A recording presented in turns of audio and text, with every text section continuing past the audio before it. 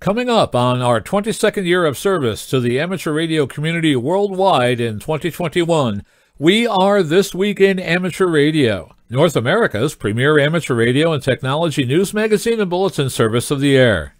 Here are the stories for release around the earth as we come to air with edition number 1138 of This Week in Amateur Radio.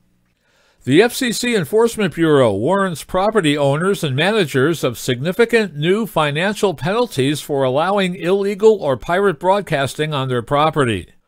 A volunteer examiner coordinator testing group in Oregon offers testing from the comfort of candidates' cars. We'll have the story.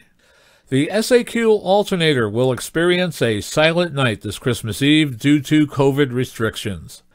A scheduled slow scan television event from the space station will help mark 20 years of continuous amateur radio operations from the ISS. A U.S. government agency believes RF transmissions are responsible for employee illnesses overseas. There are some amateur radio events that are proceeding on schedule despite pandemic restrictions, while others have been totally canceled. We will tell you who is up and who is down. New Zealand has posted changes to their general user radio license. Finland radio amateurs are asking for an allocation at 1240 to 1300 megahertz.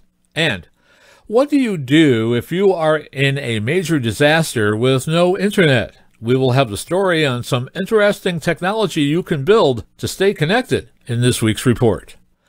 These headline stories will come to you in a moment along with this week's special features. This week is our special Christmas edition, and coming right up, we will have a great amateur radio story told by one of the 20th century's best storytellers on the radio, the late Jean Shepherd, K2ORS, as heard back in the 60s on WORAM in New York City. We'll also have the late Bill Barron, N2FNH, who will be here with a reading of A Ham's Christmas Packet. We'll visit with Bruce Paige, KK5DO, and get an update from AMSAT and what's new with all of those amateur satellites in orbit. Our technology reporter, Leo Laporte, W6TWT, will tell us how to disable notifications in Google Chrome, and we'll revisit the new proposed network technology from Amazon called Sidewalk. Australia's own Onno Benschop, VK6FLAB, says that if you want to do HF operations in your apartment building, where do you start? Our own amateur radio historian Bill Continelli, W2XOY, returns with another edition of the Ancient Amateur Archives. This week, Bill will talk about broadcasting in the pre crystal controlled era and the new government regulations setting up a new amateur radio regulator and officially recognizing amateur radio for the first time. Our tower climbing and antenna master, Greg Stoddard, KF9MP, will have a few general antenna mounting tips when you are up on your tower. That's all straight ahead as North America's premier amateur radio and technology news magazine and bulletin service. This week in amateur radio takes to the air right now. Reporting from our headquarters studio here in Albany, New York, where Snowmageddon 2020 has occurred, where we had 36 inches of snow. That's three feet of snow here at our studio. Oh, and I forgot to say, I'm George, W2XBS. Happy holidays. And reporting from our news bureau just outside Albany, New York, in the Geek Cave studios, I'm Rich Lawrence, KB2MOB. And reporting from our news bureau in Rochester, New York, I'm Dave Wilson, WA2HOY. And reporting from our radio outpost high atop the Catskill Mountains in western New York, where we've just finished shoveling 32 inches of fine skiing powder off of the driveway. I'm Don Hulick, K2ATJ. And reporting from our news bureau in Troy, New York, where 18 inches of snow this week has made it easy to stay home and stay safe, I'm Eric Zitell, KB2RJX. And from our soon to be renovated Studio One of our Central Florida News Bureau, I'm Fred Fitte, November Fox 2 Fox. And reporting from our news bureau in northwest Arkansas, where the snow was here and now it's gone. I'm Will Rogers, K5WLR. Season's greetings. This is W2XBS. I would like to take a moment to wish all of our affiliates and listeners across the country and around the world all of the best of the holiday season. And as our present to you, Please sit back and enjoy one of the nation's best storytellers talk about being a kid and getting on amateur radio. Now, for your enjoyment, here is Jean Shepherd, the late K2ORS, as heard on one of his broadcasts on WOR Radio in New York during the mid 1960s. I'm for Jean Shepherd, author, raconteur, and commentator of the contemporary scene. Here's Jean. Uh, I remember very cleanly and distinctly the, the excitement that Friday night meant. It's a fantastic, it, it always will. Uh, even to guys who are not in school, who are still not 15, uh, Friday night is a special, peculiar kind of a dangerous night. And what it meant to me, I have to have to admit one terrible thing. Uh, at, at one point in my life, what it really meant to me was Friday night was the one night that I could keep my ham station going until dawn.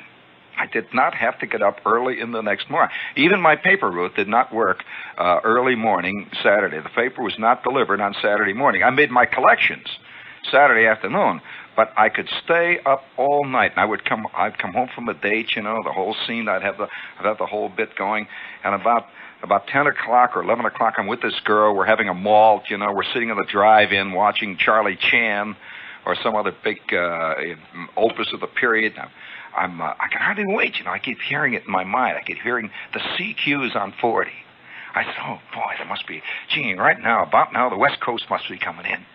Right about now, the the W6s are starting to pound into the Ninth District. And here I am sitting with uh, Esther Jane, you know. I mean, Esther Jacobs saying, "Gee, what a, a penny for your thoughts." And I'd say, "Yeah, well, a penny for my thoughts. What was? What'd you say? What? What?" She'd say, "A penny for your thoughts." And I'd think for a minute, and I'd say, "Shall I tell her about that pi section network I was thinking of in my mind?" This pi section network, I got a terrific idea to change the standing wave ratio on my 600 ohm feed on my 40 my 40 meter SEP. Shall I tell her about that? And then it would come out, you know, and I'd say, yeah, yeah, okay. And I'd say, you know, Esther, what I was thinking of, that, uh, that there is in the handbook, in the ARRL handbook, there's a terrific section on pi section networks. And I wonder if you'd like to go home with me and the two of us will build a pi section network that will reduce the standing wave ratio on the 600 ohm feeds to my 40 meter and by that time, I'd see her drifting away. And she'd be looking out of the front window of the car now, and she's watching Charlie Chan again. I said, What's the matter? What's the matter? Just think of the fun we could have together. You, you could hold the solder, and I could take the soldering irons, and I'd say, Give me the solder. Quick, quick, quick, quick, quick. Come on. Now put a plier down there. Hold it on that, on that terminal. Oh, boy, would we have fun. And it'd be this long, pregnant silence. And I recognized that once again, I had, Mighty Casey had struck out. And, and I could not, I, I knew then there were certain things that you just didn't talk to chicks about. Pi section networks, you do not discuss mercury switching systems with chicks. You do not discuss a Class C final with a chick. And you don't, you don't even discuss the, the ineffable mysteries of the universe of that kind with a girl. And I remember one period I was, I was plunged into a profound funk, a real funk.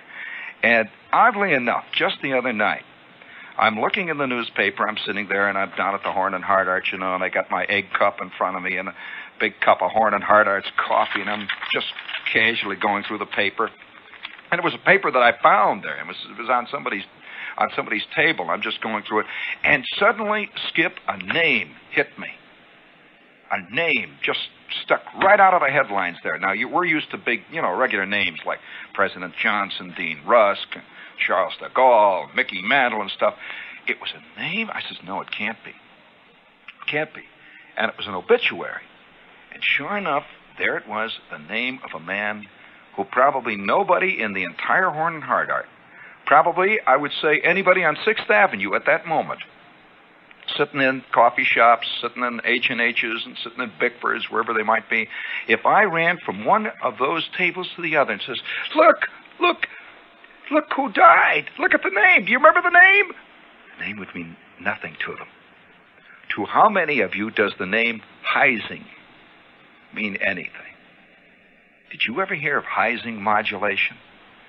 Heising modulation. You know, there aren't many men in, in any field who give their name to an entire system or an entire uh, formula or a new discovery.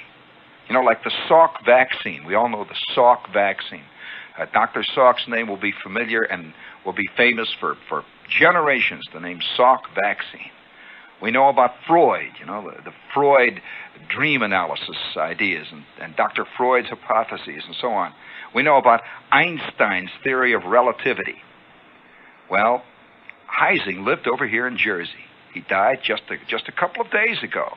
And I caught the name, and it was connected with one of the peculiar, long, blue funk moments I've ever had in my life.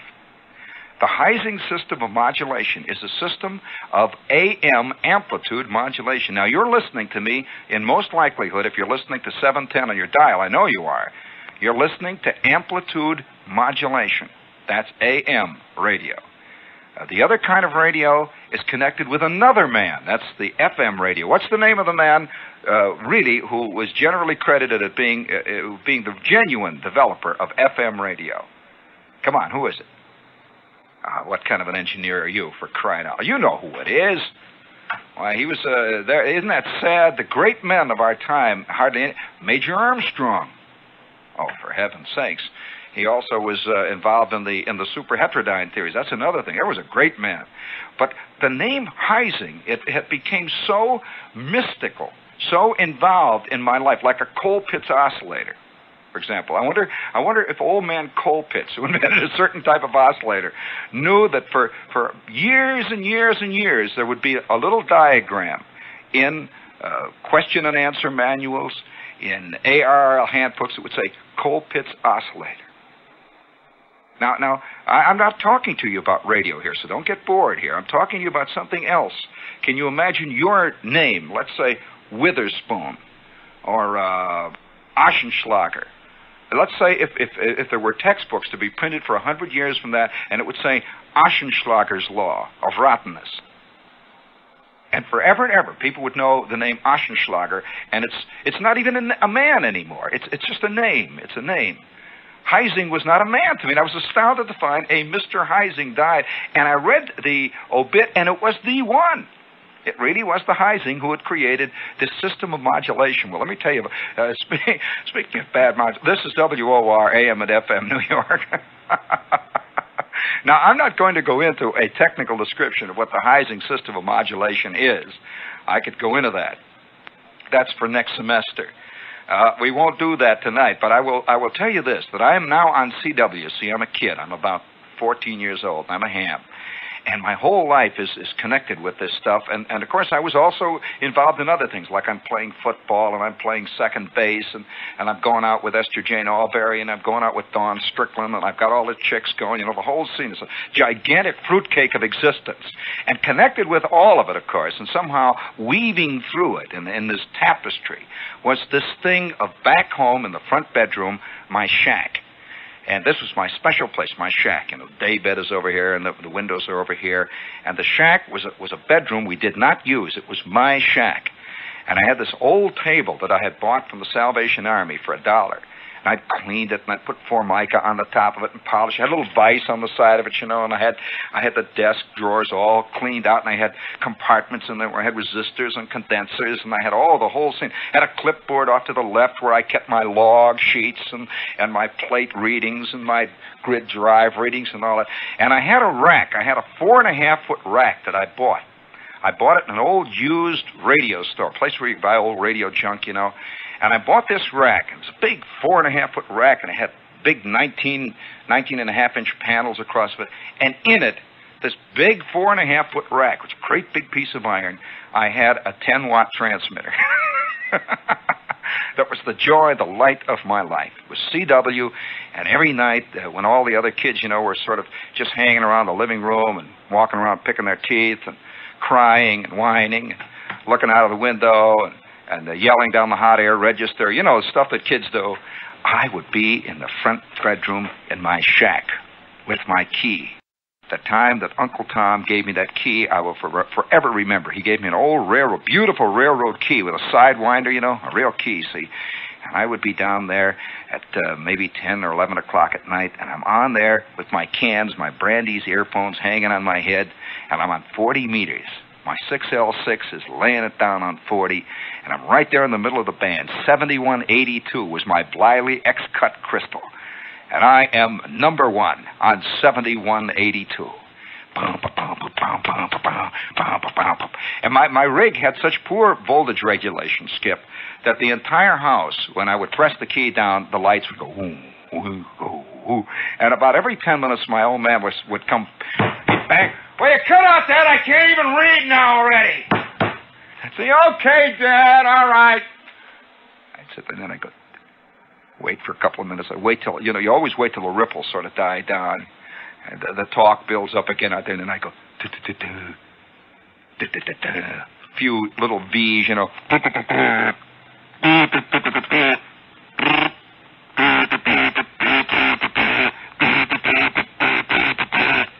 I am laying it out on 40. So this is my whole life. I walk around the streets with, with Esther Jane or with Helen Weathers or with uh, Dorothy or one of the chicks I was going with, and I would hear a horn. A car would go past, you see. And uh, I hear that old horn blow. You always hear this. If you're if you're a real CW man, you hear it, and you can never get rid of it. You hear it all the time. I stand next to subway trains right now on 59th Street, and they come along, you know, and I hear the doors rattling and everything, and I hear them. They say things in coach.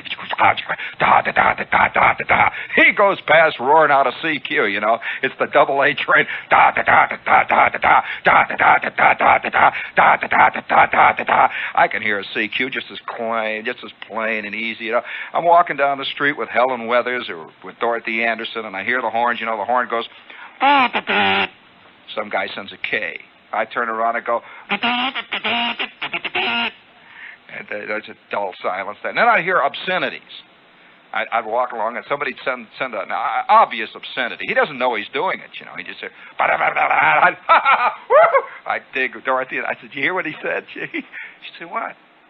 And of course, the word got out that I was kind of a nut. You know, kids who do things that all other kids don't do are always always kind of looked upon as the nut, the crowd.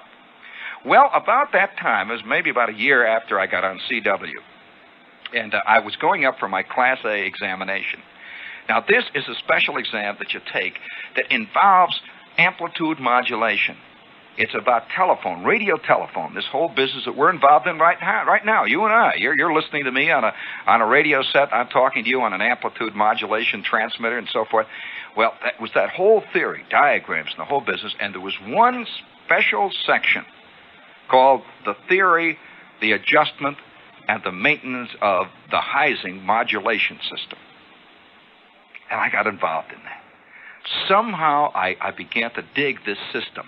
I liked to, it had a nice, had a nice symmetry about its diagrams. It was a nice, somehow I dug the theory of the Heising system. Don't ask me why, I can tell you now. One thing, it's cheaper than most other systems. And, and, and I began to dig this Heising modulation system. And then I began to go down to uh, to the old surplus radio stores, and I began to look for chokes, filter chokes, and stuff that I could build, I could use to make this Heising system.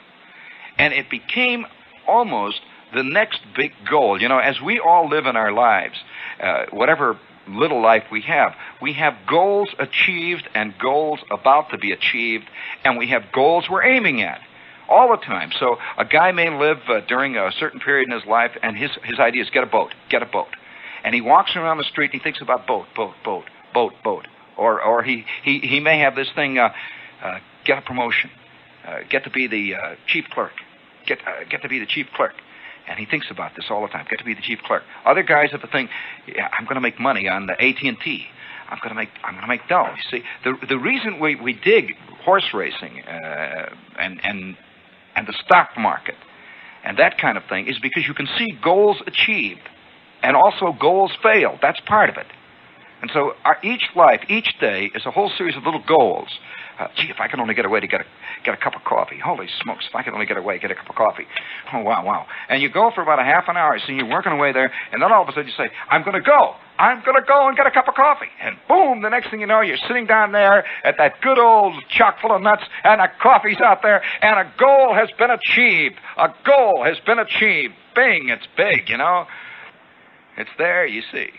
And there I was beginning to develop this thing, and Heising modulation. Now, I know this means nothing to you, but millions of hams are listening and they're saying, yeah, man, yeah. Well, at that same time, there was a girl that I was really hung up on. I don't even remember this girl's name. It was one of those brief, momentary things, you know, where you get hung up on a chick. I remember she had dark hair, and she had sort of pink, mm, mm, light type skin. And I remember she lived on the north side of town.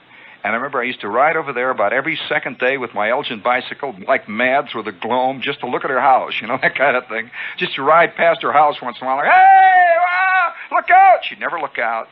But once in a great while, I'd see her at the tennis court, that kind of thing. I had a big hang up on this chick. And at the same time, I had a hang up on Heising modulation. Well, one day, I'm in this store, this old junky store that we used to go to. Uh, I'm, I'm down in the Ace radio shop. It's a crummy old lousy radio shop. They have millions of piled up turntables of old uh, disreputable types, you know, wound for Bulgarian capitals, special types of winding that only work on six and a half bolts or some nutty thing like that, or 18 and a third bolts, all kinds of crazy equipment. And I came across the, the transformer. It was perfect for my Heising modulation. Well, I had about a dollar. That was about as much as I could go.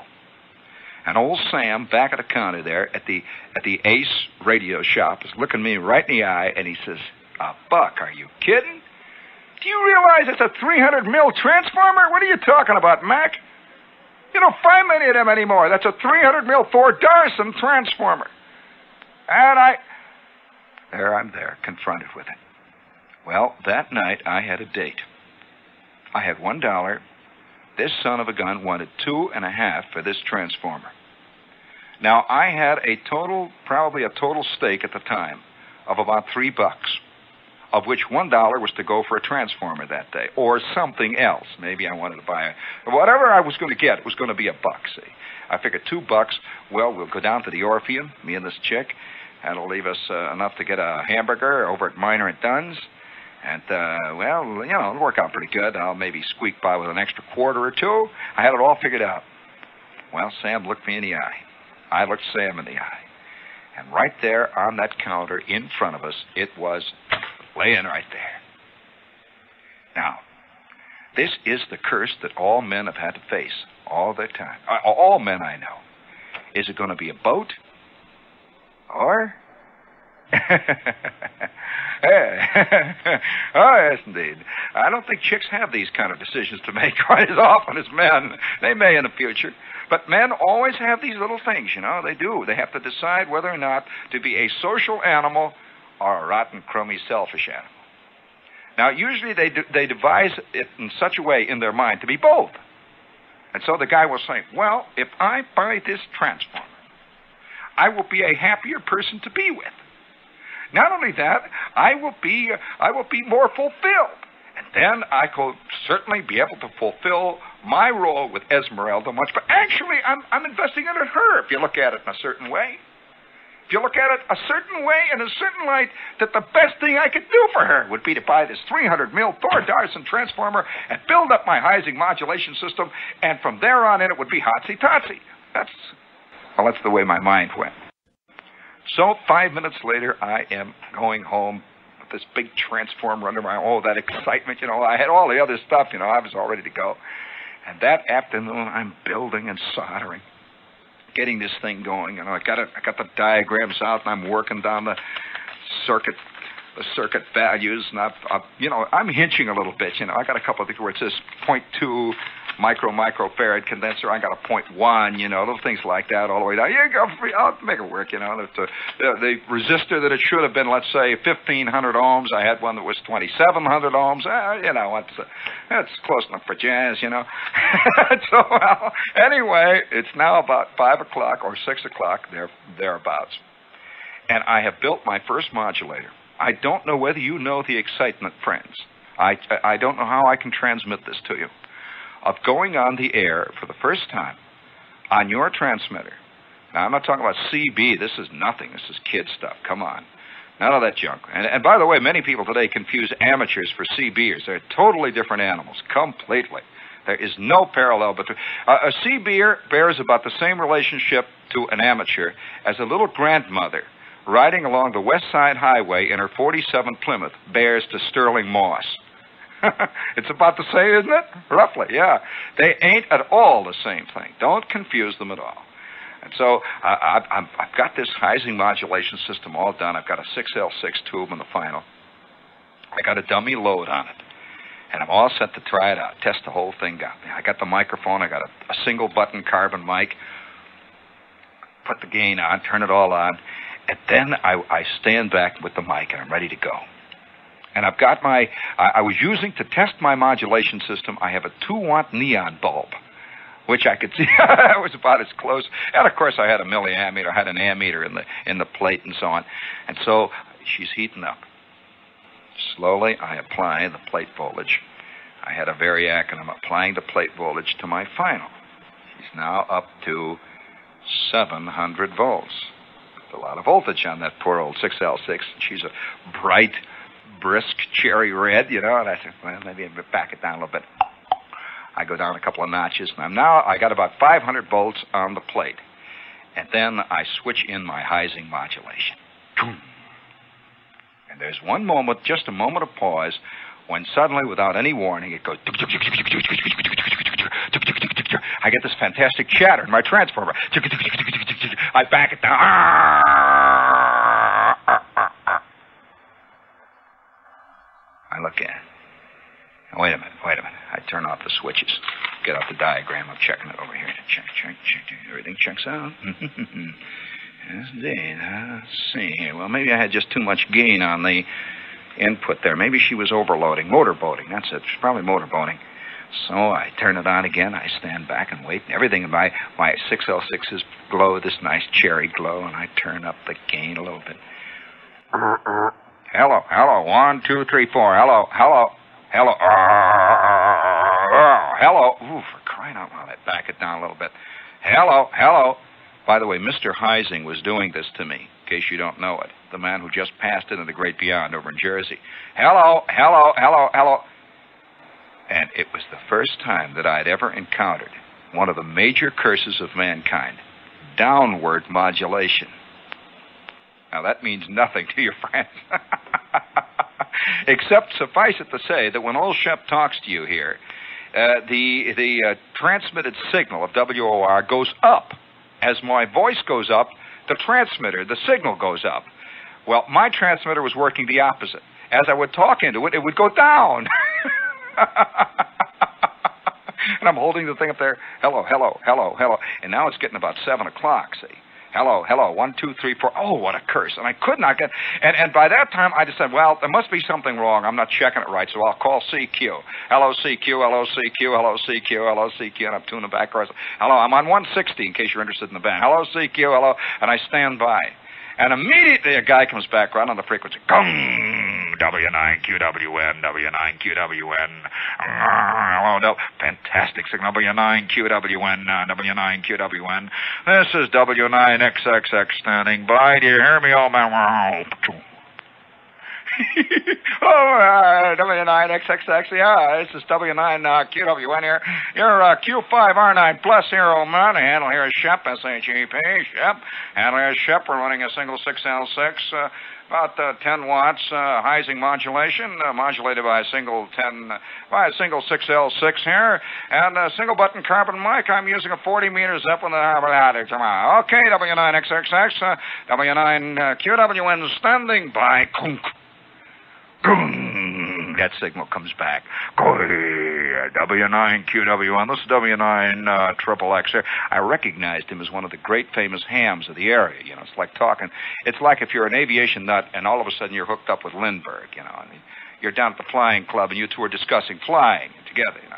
And he comes back to me and he says, mm, uh, "What'd you say the uh, handle was? I don't remember working you before. I just thought I'd call you. You're messing up the band." Uh, you're you're lousing up the frequency here. It sounds to me like you've got a little downward modulation, and I don't think you're final. It, it sounds a little bit like you a lot of parasitics there. And uh, not only that, it sounds to me just a little bit like your neutralization is way off, man. Just thought I'd call you. I didn't want to get involved in any long rag chew. Uh, you better look into it, old man, and uh, I'm going to QR QRT now. I think I'll pull a switch and uh, don't bother to come back. You sound rotten. Uh, don't bother come back, old man. Uh, it's all right, fellow. Uh, your signal here is about, I'd say, around a Q3, Q2 to 3, about an R2. Well, that meant that he had to turn up everything he had just to hear me, and when he did turn it up to hear me, I was just rotten. Uh, and so he just, boom, he's gone. I'm sitting. Heising modulation, eh? Yeah, I turn it on again. I take my neon bulb. This time I put the I put the, the dummy load in. See, I'm not going to radiate all over the band, and I get on there. Hello, hello. Keeps flickering downward. It's now 8:30, quarter to nine. My chick has been waiting for me since seven. It's at seven o'clock. Well, I finally realize, you know, this is this is this is this this way lies madness. In this way lies the antisocial animal. And uh, once you have committed yourself to the antisocial animal forever, you'll be down in some dank basement, surrounded by half-empty ball jars full of nails. The rest of your life will be given over to this insanity, whatever it is. I knew that even then, as an animal. I knew even then that hang-ups can devour you.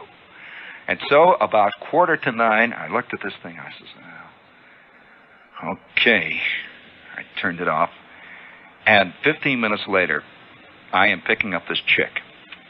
And 10 minutes after that, we are on our way to the Aragon. We are on our way to this place where they had these terrible bands and stuff, see? And all the way on up, all I could think of was downward modulation. All I could think of it was like I had failed as a man. I wonder, uh, it's too bad that Tennessee Williams doesn't write plays about the things that really get guys going, that really get guys hung up. I have known guys for two solid years, two solid years to be eaten up inside. I mean, eaten up. Where they yell at their chicks, they threaten to kill their daughters, they, they, they take a shot at their boss because of one thing they get rotten gas mileage. They're getting eight miles to the gallon and it burns them up every time they go into that gas station. You know, they bought this monster, and it takes 14 gallons of gas just to get to town and back. It's like it's like uh, Ahab and that and that whale, you know. And so we are on our way to the Aragon Ballroom. Well, have you ever danced with a chick when you got a Heising system of modulation on your mind with downward modulation and also a bad problem with parasitics? All the time I'm hearing parasitics in my mind, and parasitics are awful things. They're like little, uh, well, when you hear parasitics on the air, you know it. It's like a swarm of awful, angry, sort of somehow debauched, erotic locusts. They surround your signal. It's a fuzzy signal. If you could tune past WOR and it sounds like a like a shaving brush that's been drinking, uh, that would be like my signal was on 160, and I'm bugged. Well, on the way home, after about uh, says at least uh, uh, four hours of dancing, it seemed like four hours. Went on endlessly, back and forth. We're going. We're on our way home, and she turned to me, and she says, "I don't want to hurt your feelings." I said, what? What? What? What? I, I, already, you see, I was back in, in, in my shack. You know, I was sitting next to this chick in the Western Avenue car, but I'm already back in the shack, you know, and I've, I've got an idea. I'll tell you what it is. It must be the cathode. It must be my cathode biases. That's it. That's it. I, I you know, I'm thinking, oh, oh boy, I can hardly wait to get home. Hardly wait to get home. I'm going to change that resistor in there. I know what it is. It's, I know what it is. I know. Oh, what a fool. What a nut. And she says, uh, now, come on. She says, you, I, I don't want to hurt your feelings, but you're one of the you're one of the worst people that I've ever dated. I said, What? You know, I don't make passes or anything. I'm a nice guy, you know. I took her out there. She said, You're one of the worst people I've ever dated. And she says, Not only that, she says, But I think, I think that your mother ought to take you to a doctor. I think you're unhealthy. Unhealthy? It never occurred to me that having a hang up on a cathode follower circuit or having a hang up on Heising modulation was somehow a perversion. It was a sickness. I said, well, unhealthy. I mean, I play football and all that stuff. What do you mean unhealthy? Now I'm getting a little bugged with it. What do you mean unhealthy? Anybody with the kind of skin you got should holler about unhealthy for crying out loud. She says, well, I don't care. She's bugged. Oh, a woman scorned even at the age of 14 is, is hell on wheels. That's all I got to say. So I'm saying, well, what do you mean unhealthy? She says, well, I don't think you even talked to me once tonight. What do you mean talk? You didn't I buy an orange drink? I bought you knee high. I talked. I said I asked you if you wanted another one. I remember that. I said it's fun. I remember telling you this was fun. She said, You did not talk to me once, all the time we were at the Aragon. Long pregnant pause. I said, What am I going to talk to you? What do you know anything about downward modulation? She says, What? I said, Well, I've got worries. I'm worried. Can't you tell I'm worried? Nothing is worried, more worried than a guy who is building something and it hasn't worked. I can tell you this, it drives you out of your skull. I said, I'm worried. And we rode all the way home on the Western Avenue car in silence. Got the end of the line, took her home, says goodbye. Just goodbye. That was the end of that. I took off like a big speckled bird. You, I didn't think of her eight seconds off. I'm ooh over the privet hedges. I'm going, you know. I'm flying all the way home with my wings going, you know. Wow, woo up the front porch, boom in, pow into the front bedroom, goom goom goom. The switches are going on. The old man sitting out in the front room there listening to the A and P Gypsies or something, you know. And I got I got all the switches turned on, everything going, waiting for it to heat up. I got the soldering iron heating up, and I've got the solder out there, and I have got that 2 micro microfarad condenser, which I should have put in in the very beginning in the cathode. It hit me halfway through Red Sails in the Sunset. What the problem was. Halfway through, I says, I, what, "What's the matter with me? I got a, I got a one tenth condenser in there. It should have been a two, at least a two micro microfarad." I'm soldering this thing up, you know. Boy, I heat this baby on. There, I got the microphone going. Dummy load. All right, let's see putting in a little grid drive there. Now she's, oh boy, she's doing real good. Ooh, ah. I tune the final plate. Ooh, what a dip. I'm tuning that final tank now. Ooh. Ooh. Yeah. Advance the gain a little bit. Hello, one, two. Oh, what a beautiful sight. What a beautiful sight. My milliammeter in the final plate is ticking up ever so slightly. Ting, ting, ting, ting. Up, she's, she's working perfectly. I take my neon bulb. Hello, one, two, three, four. Hello, hello, hello, hello, hello, hello, hello. One, two, three, four. Hello. Beautiful envelope. Magnificent signal.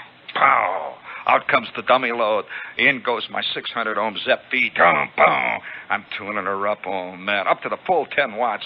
Hello, 160. Hello, hello, hello. Hello, hello. Hello, CQ. Hello, CQ. Look at that meter flicking up in there now. Look at it right behind your head, Skip. Look at that beautiful sight. Hello, hello. Hello, CQ. Hello, CQ. Hello, CQ. Calling CQ.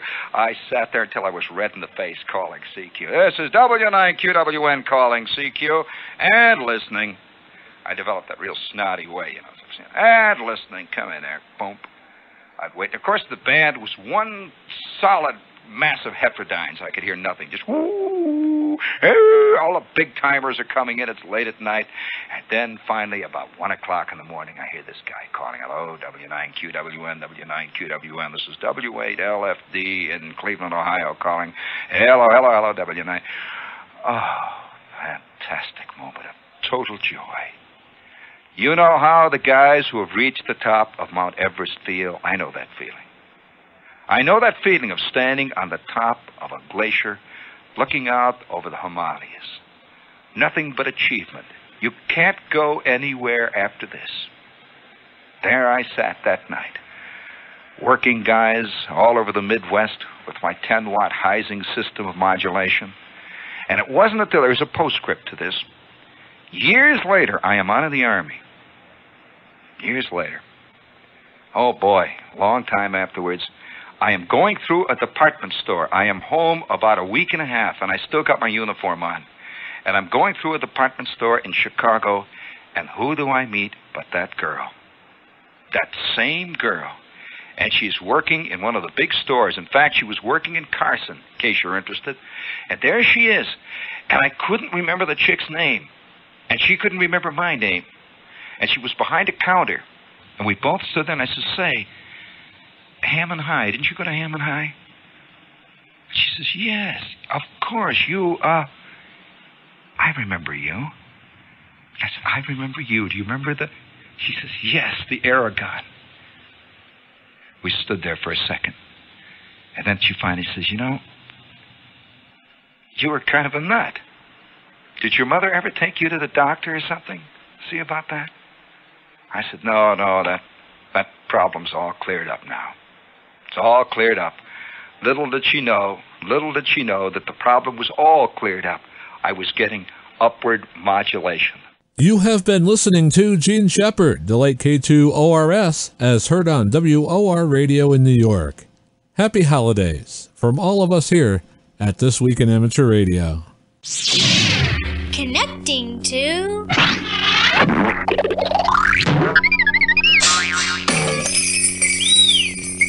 The Random Access Christmas.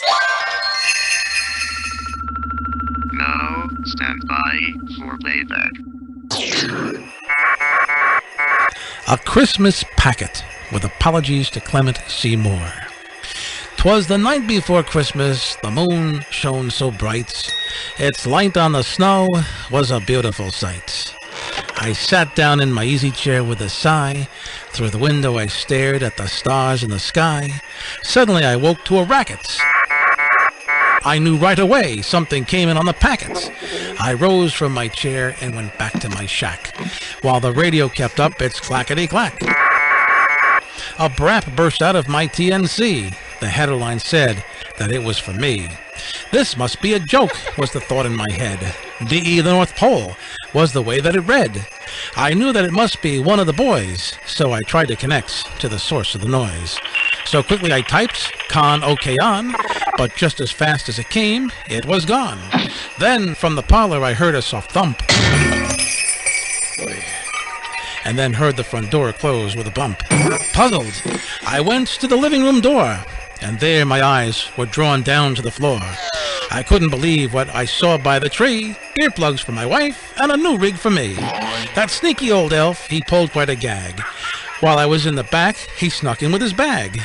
The few minutes I was on, packety pack, gave him just enough time to empty his sack. Then from my set, I heard one last zap.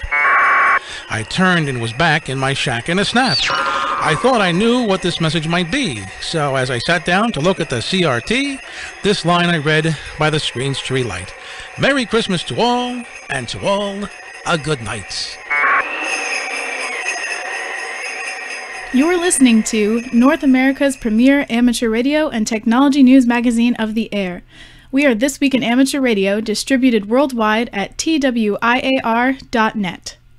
And now to the news with this week's lead story. Here's Rich Lawrence, KB2 MOB.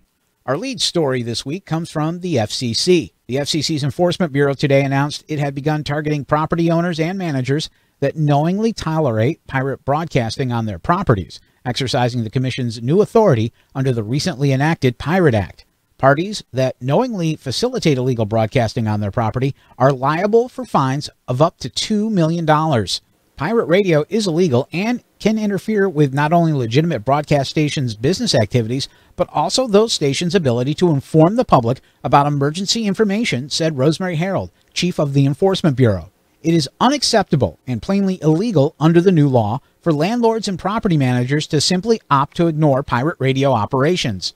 Once they are aware of these unauthorized broadcasts, they must take steps to stop it from continuing in their buildings or at other sites they own or control. If they do not do so, they risk receiving a heavy fine followed by collection action in court if they do not pay it. In addition, our enforcement actions will be made public, which may create further unforeseen business risks. Under the new authority, the Enforcement Bureau will provide written notice to property owners and managers the agency has reason to believe are turning a blind eye to or even help facilitate illegal broadcasting. These new notices of illegal pirate radio broadcasting will also afford parties a period of time to remedy the problem before any enforcement action moves forward. In the first such notices issued today to property owners regarding their buildings in New York City, the respective parties were given 10 days to respond. The Bureau will consider any response before taking further action. Commission investigations have found that landlords and property managers too often are aware of this illegal activity taking place on their premises. The Commission has previously sent warnings to landlords and even sought cooperation from national property owners organizations in raising awareness. With pirate broadcasts persisting despite these efforts, Congress took action and empowered the Commission to penalize property owners and managers that knowingly permit pirate broadcasters to remain operating from the landlord's building or unbuilt areas. Landlords and property managers also may be found liable if a pirate station ceases operation for some period of time but later resumes at the same site. Separately, the Enforcement Bureau and the Office of the Managing Director also released today an order amending the Commission's rules to implement the new enforcement authority granted by Congress through Section 2 of the Pirate Act as codified in 47 U.S.C. 511. The coronavirus pandemic has made life difficult for everyone.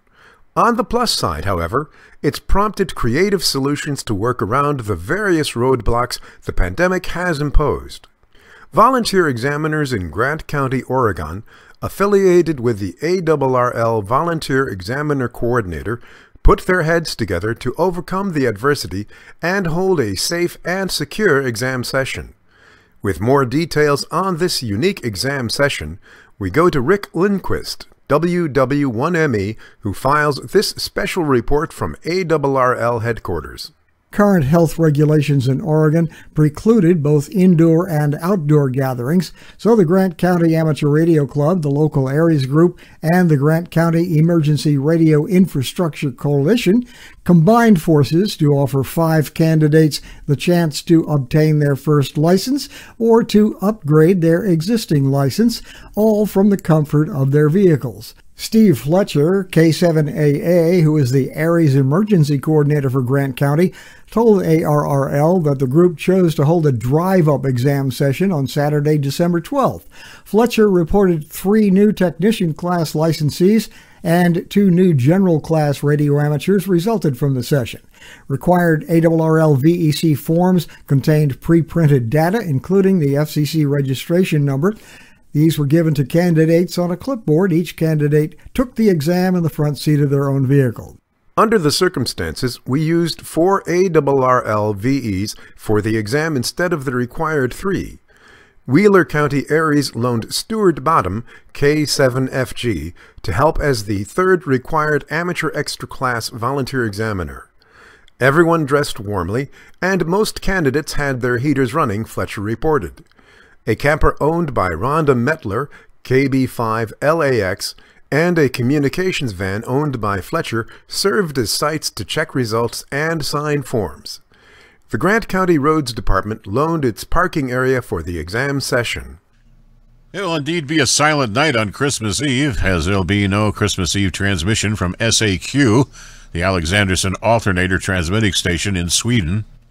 The Grimeton World Heritage Foundation and Alexander GVV Friends Association cited prevailing circumstances in our society for the event cancellation. We find it sad to make this decision, but see it as a necessary measure to protect everyone involved. The announcement continued. Past SAQ transmission events are chronicled on YouTube. We truly regret this and hope for your understanding of the situation and continued support for the business. We hope that our old lady can soon be heard on the air again, the announcement concluded. The vintage Alexanderson alternator provided an electromechanical means of transmitting message traffic. It dates back to the early 1920s via spark transmission.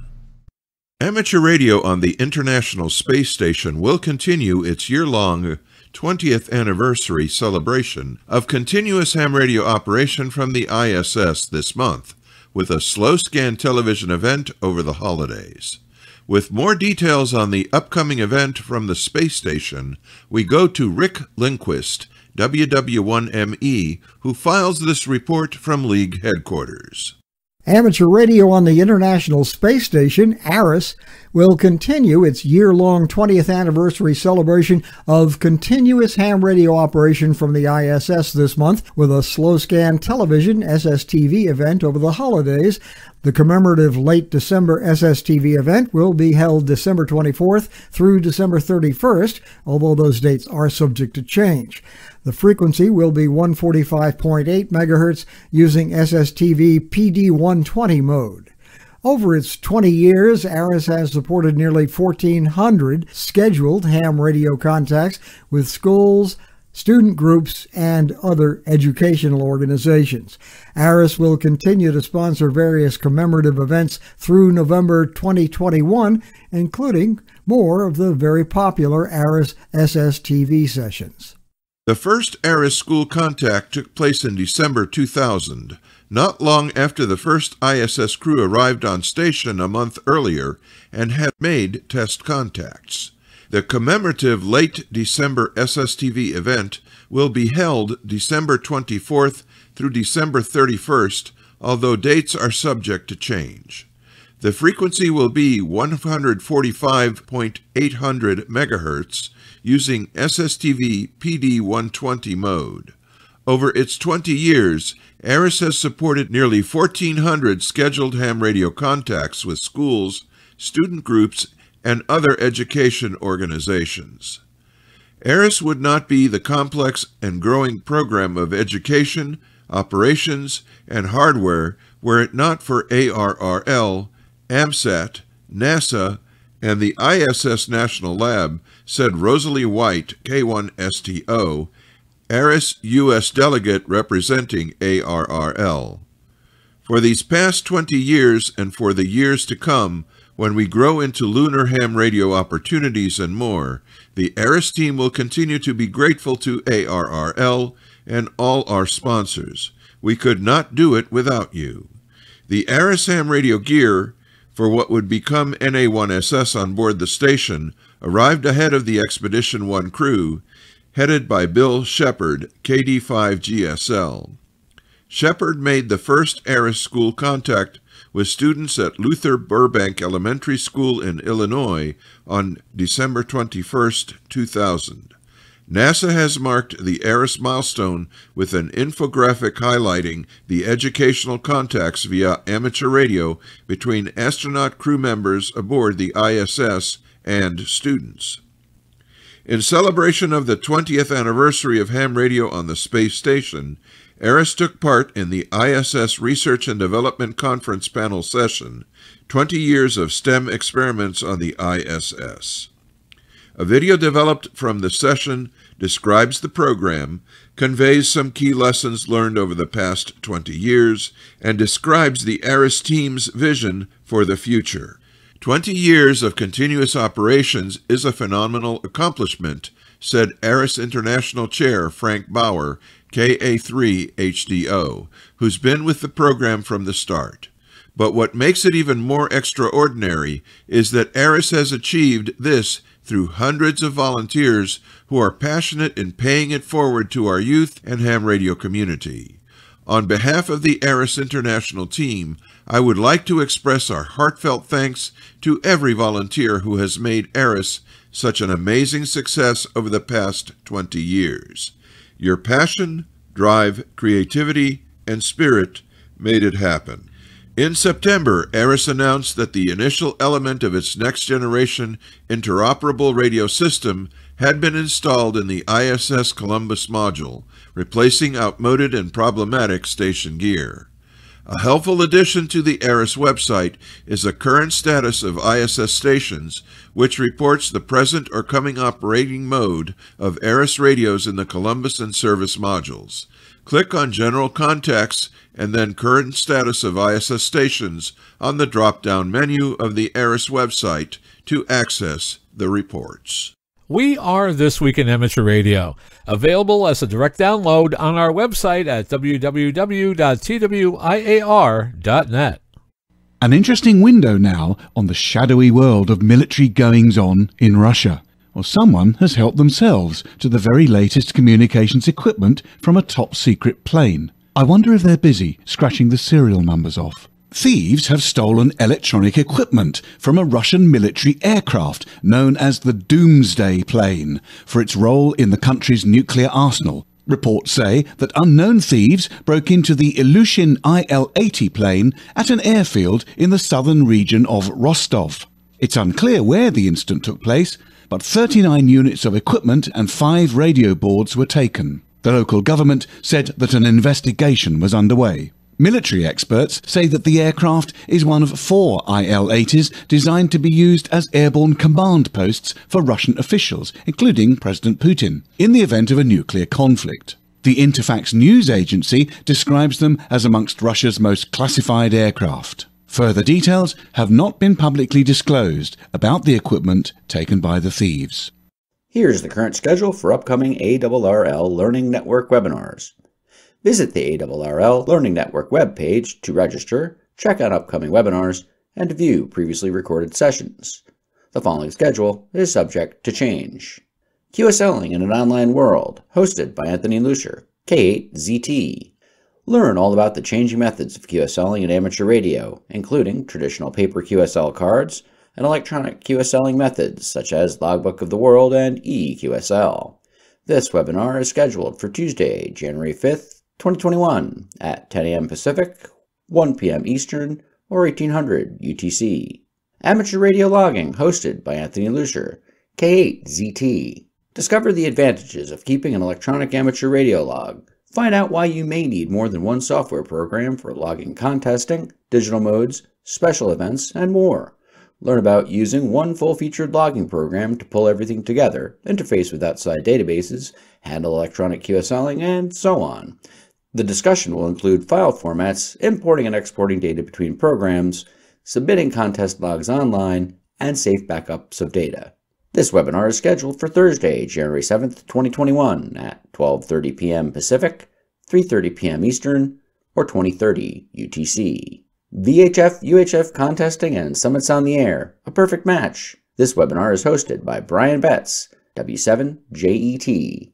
Explore the challenge of VHF UHF contesting and the success of the large-scale participation of summits on the air. Summits on the Air Summit activators will be on the air in Arizona for their January VHF contest. This webinar is scheduled for Thursday, January 14th, 2021 at 12:30 p.m. Pacific, 3:30 p.m. Eastern, or 2030 UTC.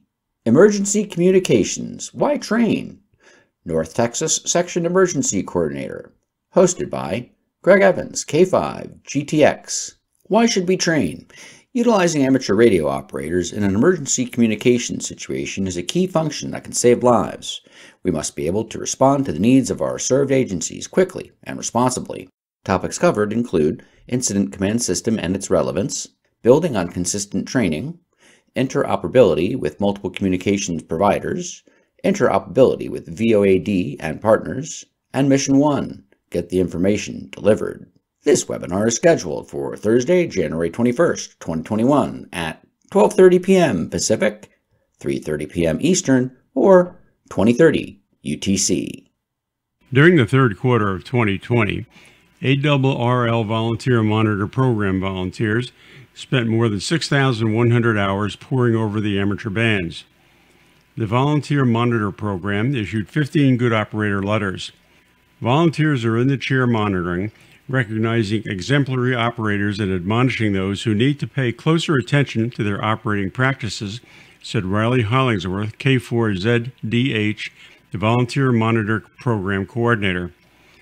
The Volunteer Monitor Program referred two cases to the FCC while accepting two cases from the FCC for investigation.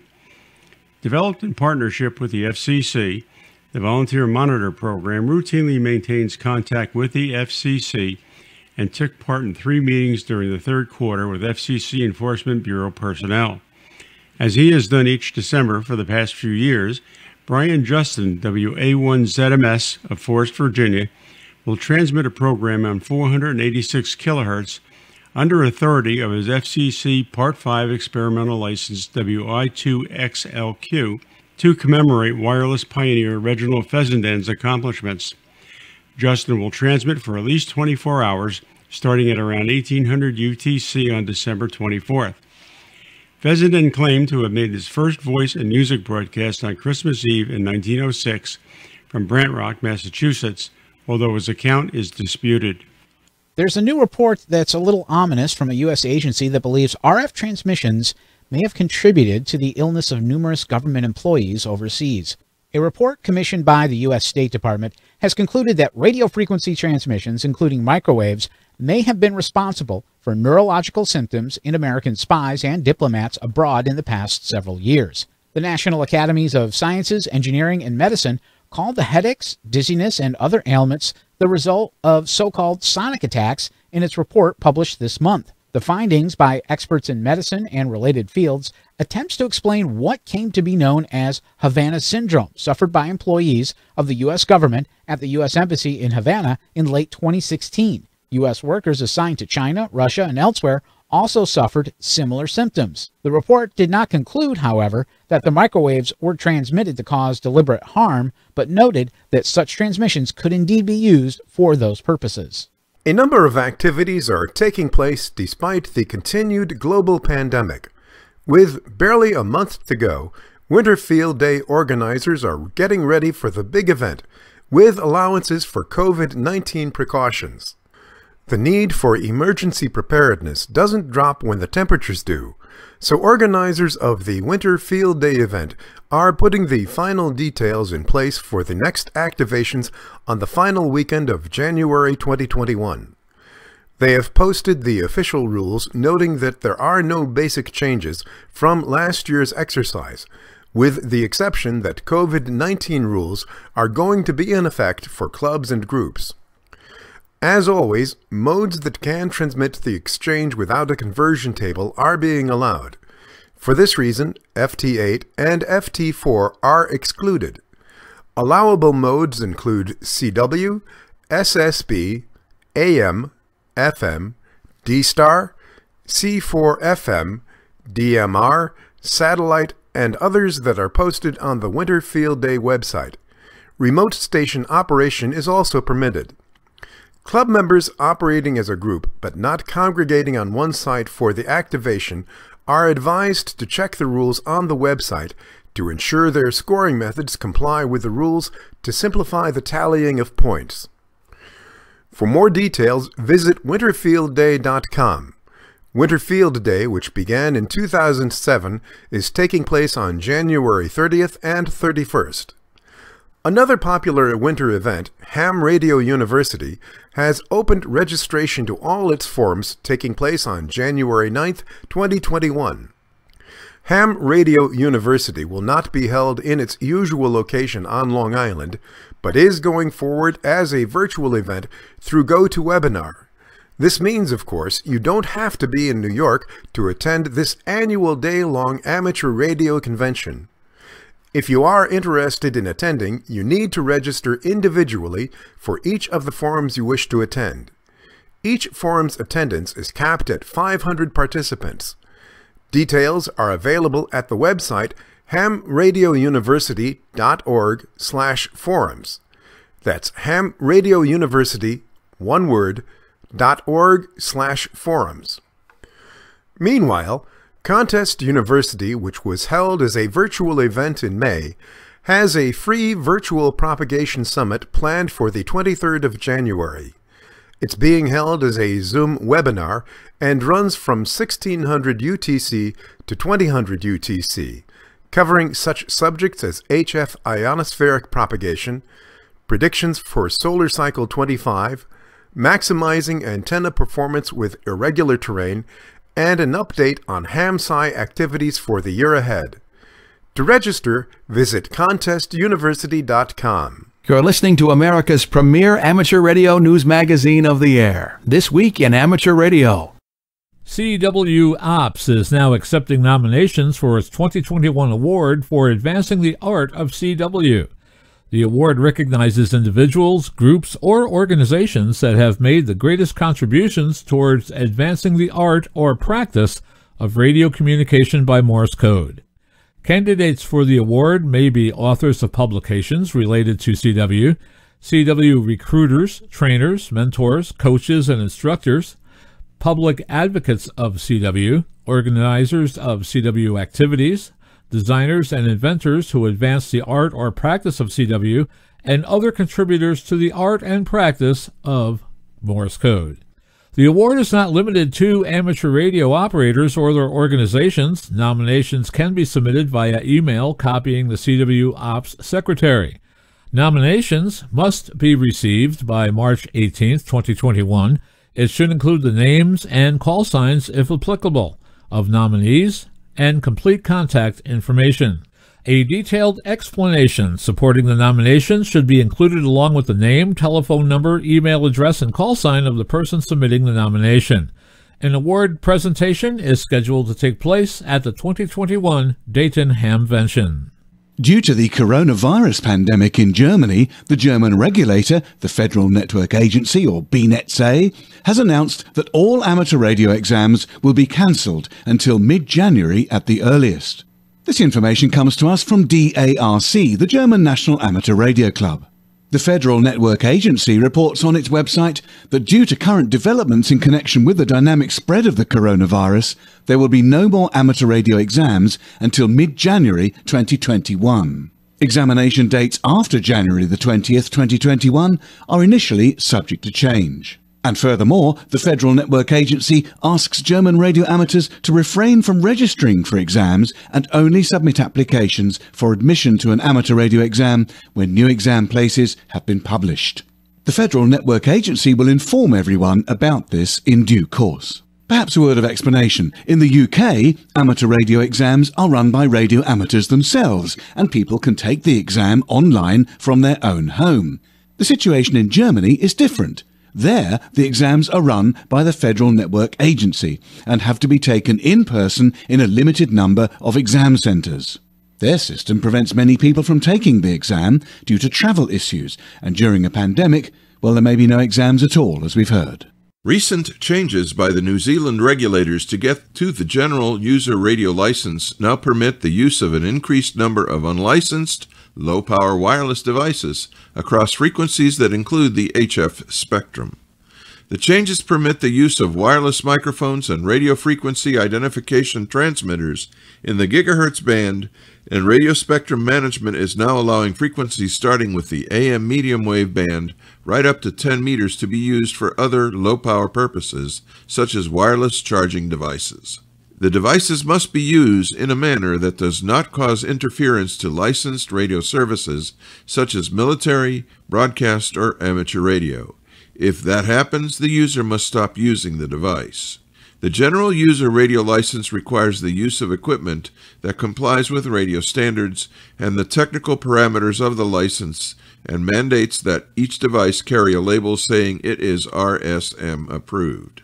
Meanwhile, a new edition of the International Amateur Radio Union's VHF Handbook has recently been published and is downloadable as a PDF. This is version 9 of the handbook, and it is based on the actions taken at the 2020 IARU Region 1 Virtual General Conference. It contains all the decisions made regarding the bands at VHF and higher, the handbook's band plan also shows changes made to 436 to 438 MHz and covers 145 MHz satellite allocations. The 2021 ARRL RTTY Roundup on January 2nd and 3rd will feature two new multi-operator categories, Multi-2, M2, and Multi-Multi-MM. Because M2 and MM are new categories, there are no existing records. So the high scores for these categories will be by default become the new records. High scores are kept by U.S. call area, ARRL division, ARRL section, Canadian province, and DX entity. Visit the ARRL contest webpage to see the current ARRL RTTY Roundup all-time records.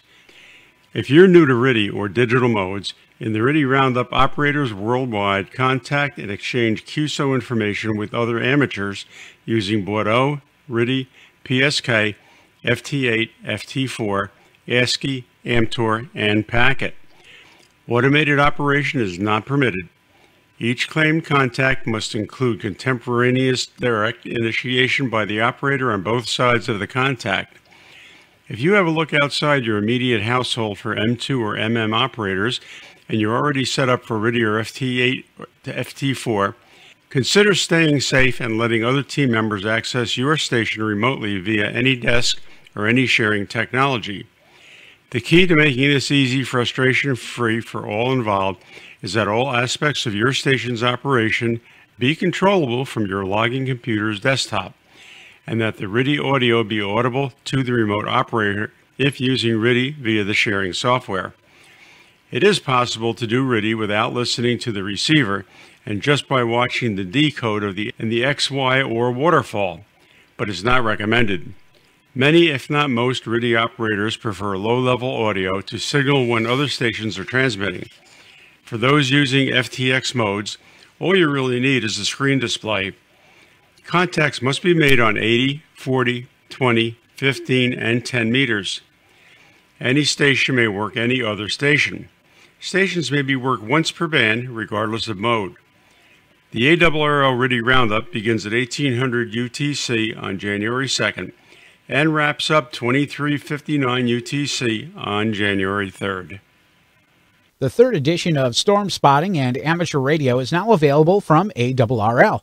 Storm Spotting gives radio amateurs another way to offer public service by using their skills as communicators. In an average year, the U.S. experiences more than 10,000 severe thunderstorms, 5,000 floods, and more than 1,000 tornadoes. During these weather events, ham radio volunteers provide real time information to partners such as emergency managers and National Weather Service forecasters. New in this edition are lessons learned and response reports from the 2017 hurricane season, among other things. Co authors are University of Mississippi Professor of Emergency Management Michael Corey, KI1U, and former Embry-Riddle Aeronautical University Meteorology Professor Victor Morris, AH6WX, with contributing editor Rob Macedo, KD1CY.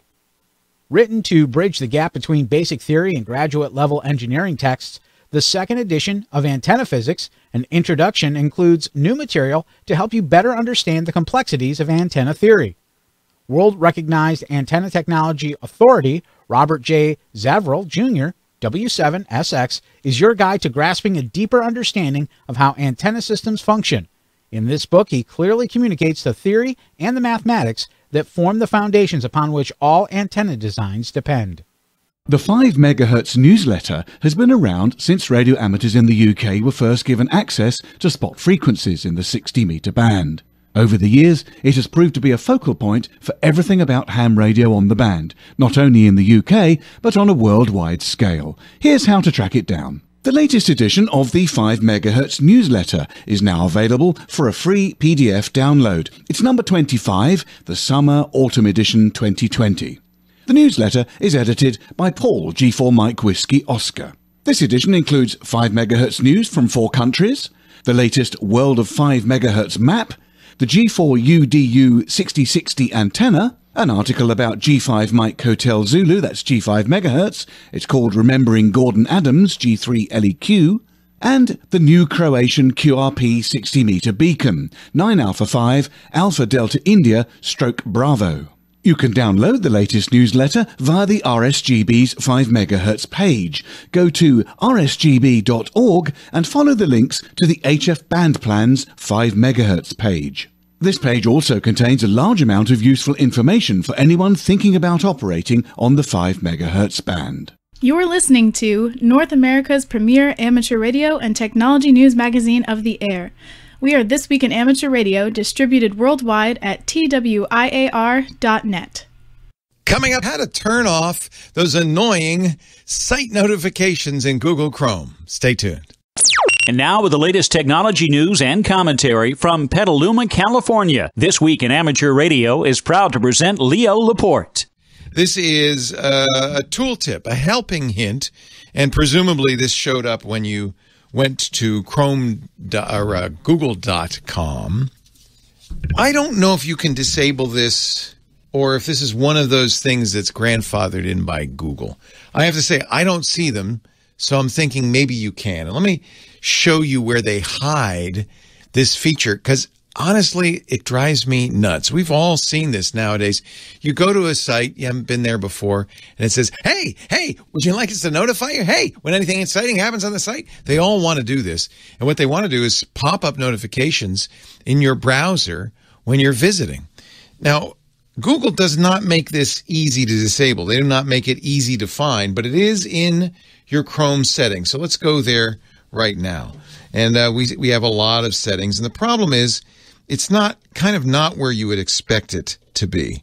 It's under site settings. I'm not sure if this will fix those Google pop ups, but if there is a way to do it, this will be how you do it. Now it's showing me a number of sites that I have already allowed, including from my Google Calendar. You might want pop ups from your Google Calendar.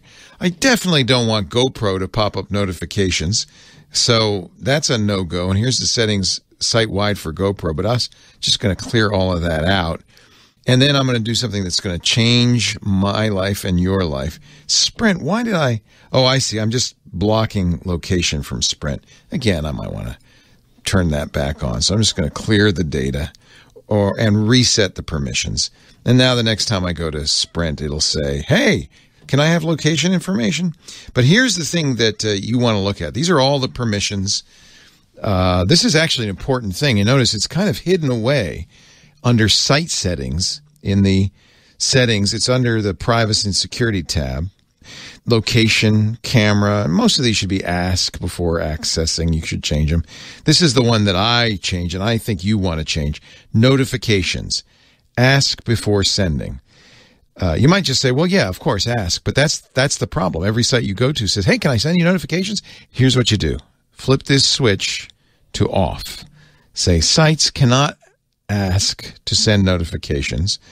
And furthermore, if you have sites that you've given permission, as you can see, I have probably by accident, just remove them. Just remove them. You have to do it one by one, unfortunately. But this way, not only will sites no longer send you notifications, but they won't ask you if they can send notifications. Now, notice there are some places here where notifications are allowed, and these are all generally from Google. And this is a little bit more troubling. You can reset the permissions here, including the notifications.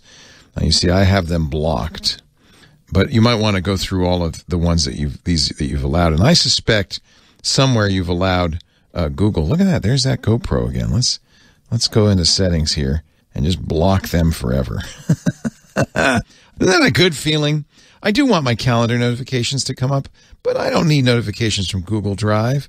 Mail, yeah, I don't use Gmail anymore. Notice there's no way to turn this off. And that's part of the problem. That little helpful pop-up that you might you've been getting, that might actually be something Google does not let you turn off because hey, we want to be able to advertise to you. It is well worth whatever browser you use. I don't actually use Google Chrome very often. It is the most used browser on uh, Apple's uh, Macintosh, especially on the new Macs. I use the Safari browser. Uh, everywhere else, I use Firefox. I like Firefox a lot. It's it's the last real open source browser, so yeah, I, I like that a lot about them. In every case, though, these browsers do allow you somewhere buried in the settings, usually under site settings, to disable notifications and pop-ups like that. The problem with using Google Chrome is, and Google's never shy about this, Google will use Google Chrome to promote their commercial activities. You're using a free Google piece of software, and the deal, unwritten, unspoken, is, and yes, we're going to do what we want with that browser. So ultimately, the best way to dismiss those notifications is to stop using Google Chrome. I know many businesses require it. I uh, always keep a copy of Chrome on my system because occasionally I'll get to a site that says, oh no, you have to use Chrome. But increasingly, Microsoft's Edge, which is based on the same engine as Google Chrome, the Chromium engine, works just as well on those sites. It, it has other privacy issues, but not any Google privacy issues. Firefox has a lot of settings. In fact, Firefox probably has the most elaborate privacy settings that really allow you to block a lot of things, including those Facebook like buttons, things like that. Brave, which is a privacy centered browser that's based on also on the Chromium engine, has a lot of privacy settings. So does Opera. I would say it's a good idea to try a bunch of different browsers. It seems like Chrome is now just the default for everybody. I would look at the platform native browsers, Safari on Mac OS, Edge on Microsoft Windows. I think in most cases, those should be your go-to. The reason I use Firefox is because I can synchronize Firefox bookmarks and plugins, you know, extensions across all the different platforms I use, Windows, Mac, and Linux. And I do use a lot of different systems because of my job. So for me, Firefox makes the most sense because of Firefox Sync. Try them all. See which ones you like. And I can promise you, you're not going to get those annoying Google pop-ups on anything that's not a Google browser. So often as users of technology, we kind of we put up with the little aggravations. We go, oh, yeah, it's too much trouble to figure it out and it's annoying, but I'll just close that box and I'm going to live with it. The problem is, I believe over time they add up and add up and, and, and they really become detrimental to your experience of using a system. So I like the idea of when something annoys you, fix it. It usually doesn't take very long, maybe a, a little research, a question, an email to me, but fix it because Each one of those, it's death by a thousand paper cuts. Each one of those is whittling away the pleasant user experience and making it, you know, unpleasant. And pretty soon they pile up and pretty soon it's just no fun anymore. So fix it. That's my, it's the broken Windows policing of computer technology, if you know what that means. Uh, let's see, what else can we talk about? Last week we talked about Sidewalk, which is Amazon's uh, interesting and I don't think necessarily nefarious plan to create a low speed, they actually call it LoRa, long range, low speed network all over town. If you have an Amazon device, Sidewalk is on by default. Everything except the very first generation Amazon Echoes. So your Echoes, your uh, your doorbells, your Ring doorbells, your Ring cameras, anything like that. That's got a uh, that's got a chip in it. It must have been planning this because even the second generation Echoes have this. So they must, have, they must have been planning this for a while.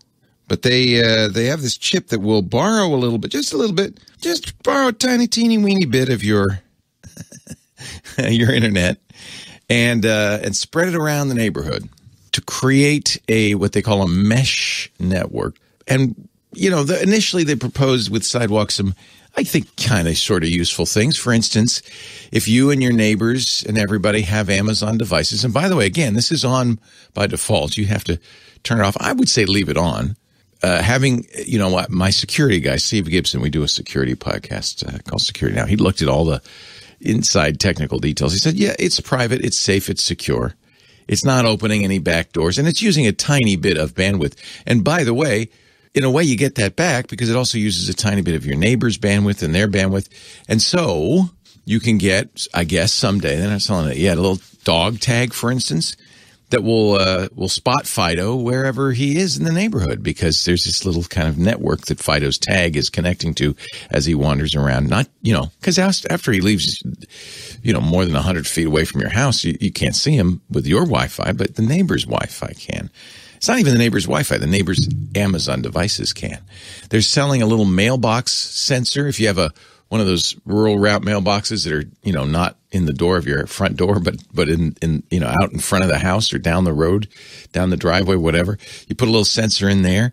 It happens to have a little repeater so it can spread the sidewalk network.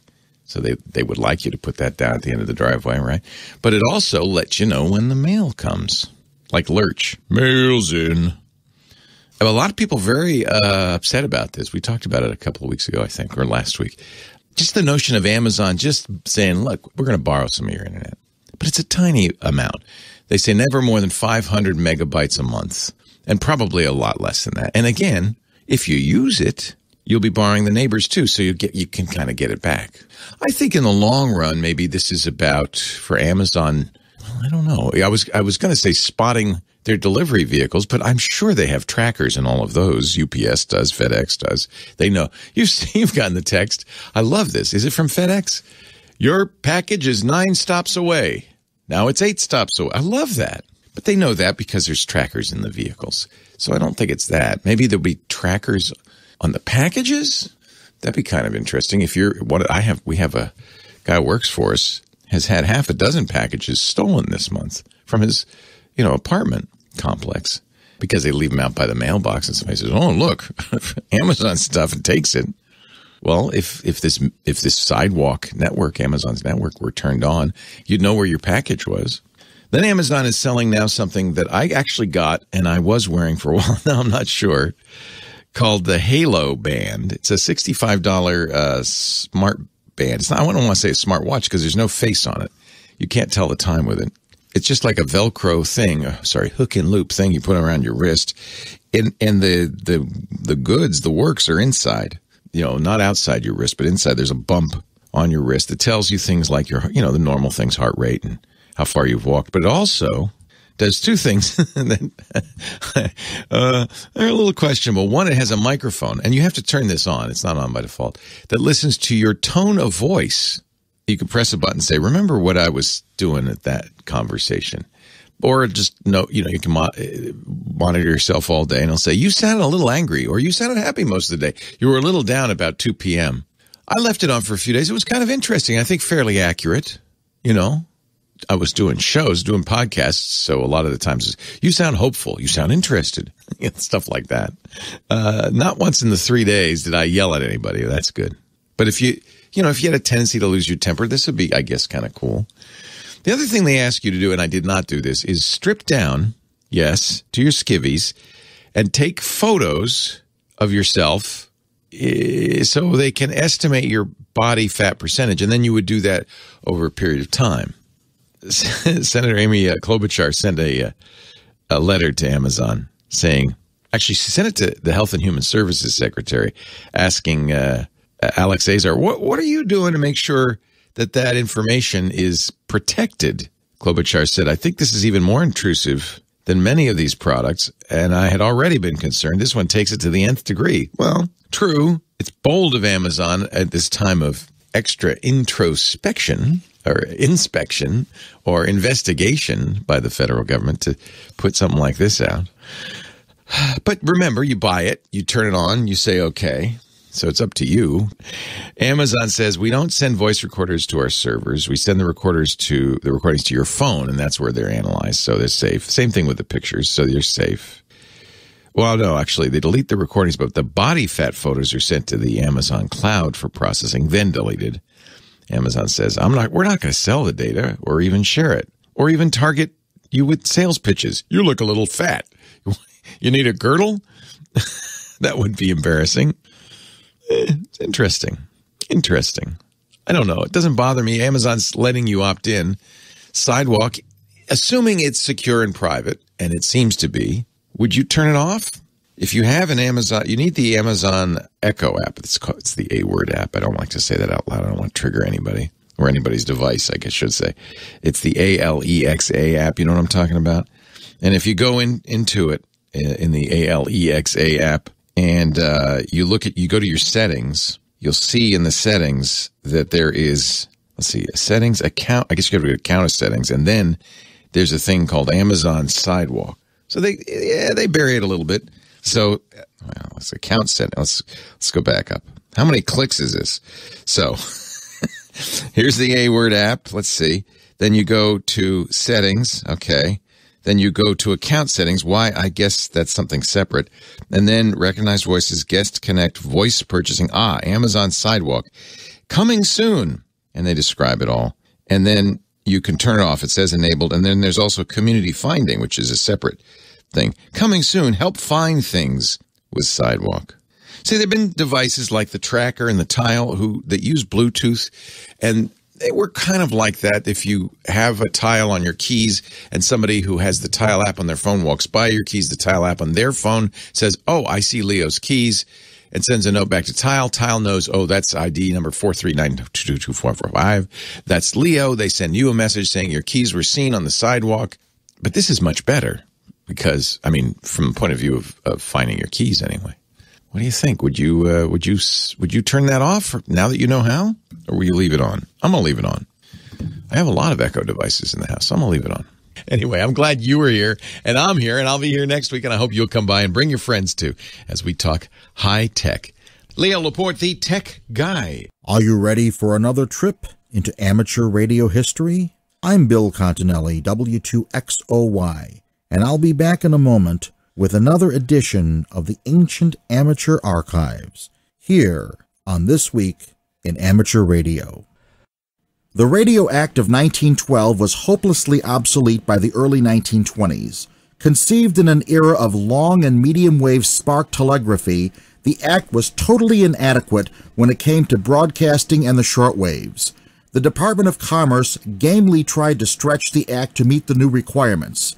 The 1922 and 1924 regulations that banned broadcasting by amateurs set up the broadcast band and carved out the 160, 80, 40, 20, and 5 meter bands were really nothing more than gentlemen's agreements, valid as long as they weren't challenged.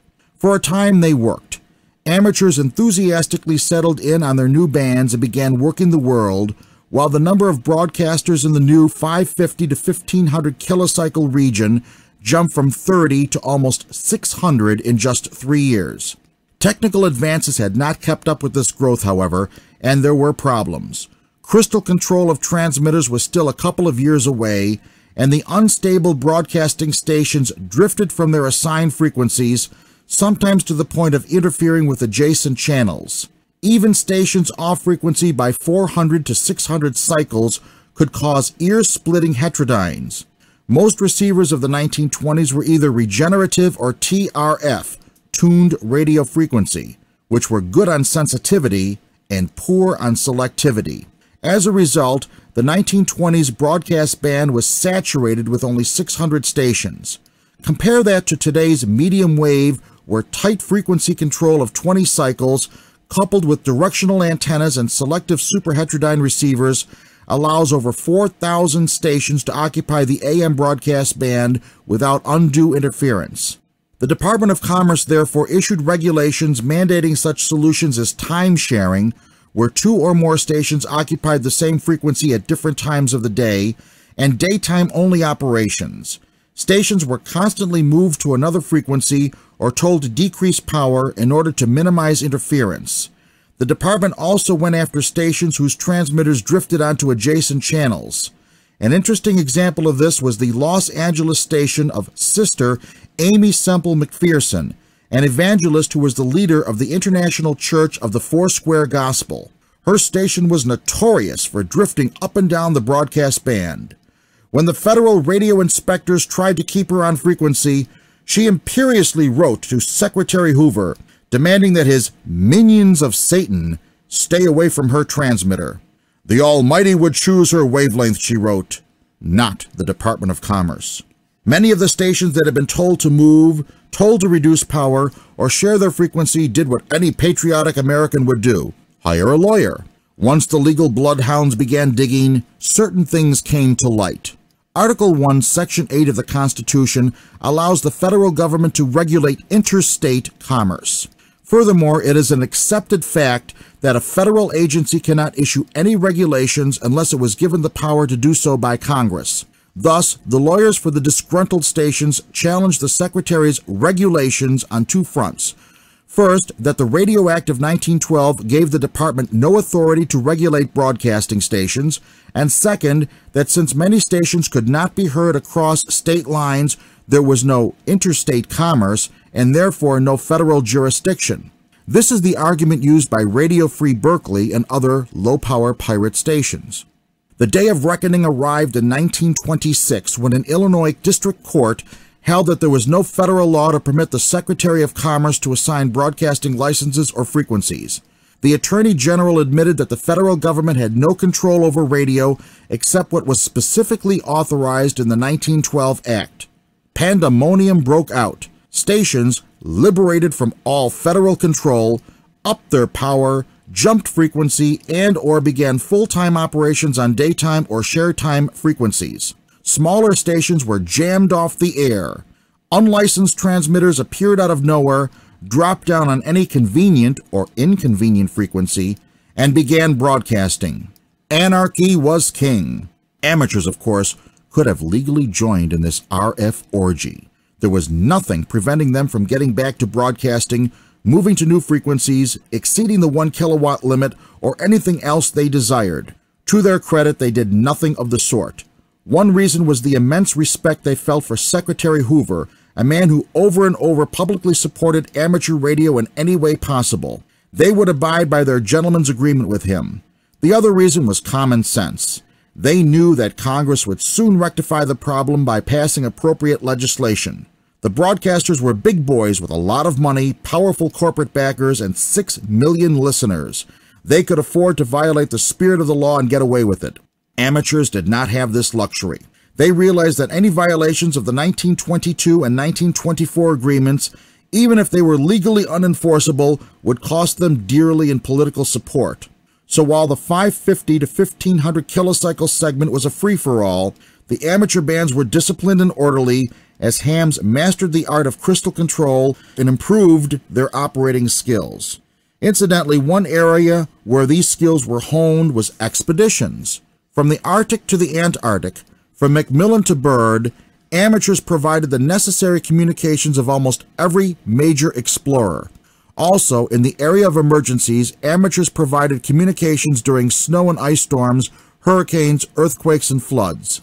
The federal government quickly moved to end the chaotic mess on the broadcast band. The Radio Act of 1927 was approved on February 23rd.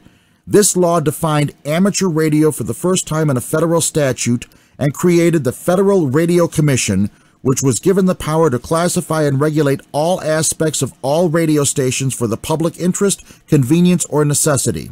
Criminal penalties were written into the 1927 Act for violations of the Act or any regulation thereunder. The Commission immediately went to work. Minions of Satan got Sister Aimee's station back on frequency and shut down the transmitter of KFKB, the station of Dr. John Brinkley, graduate of the Eclectic Medical School and proponent of prostate operations and, get this, goat gland transplants to cure all medical ills. Patients by the thousands listened to KFKB's broadcasts and flocked to Kansas to have the operations, picking out their goat from the pens next to the hospital as they went in. Do you think I could make this up? Unfortunately, after the commission shut him down, Dr. Brinkley went to Mexico by the Texas border, set up a 150,000 watt station, and continued his fraudulent operations. In regards to amateur radio, the Commission, in effect, kept the status quo for the 15,000 hams. All agreements and regulations enacted by the Department of Commerce were maintained and incorporated into current regulations. The only change that hams noticed was the addition of a prefix on their calls.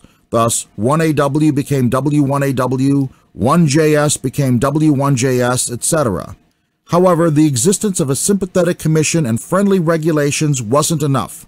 Radio was truly international, and as a result, an international radio telegraph conference was scheduled in Washington, D.C.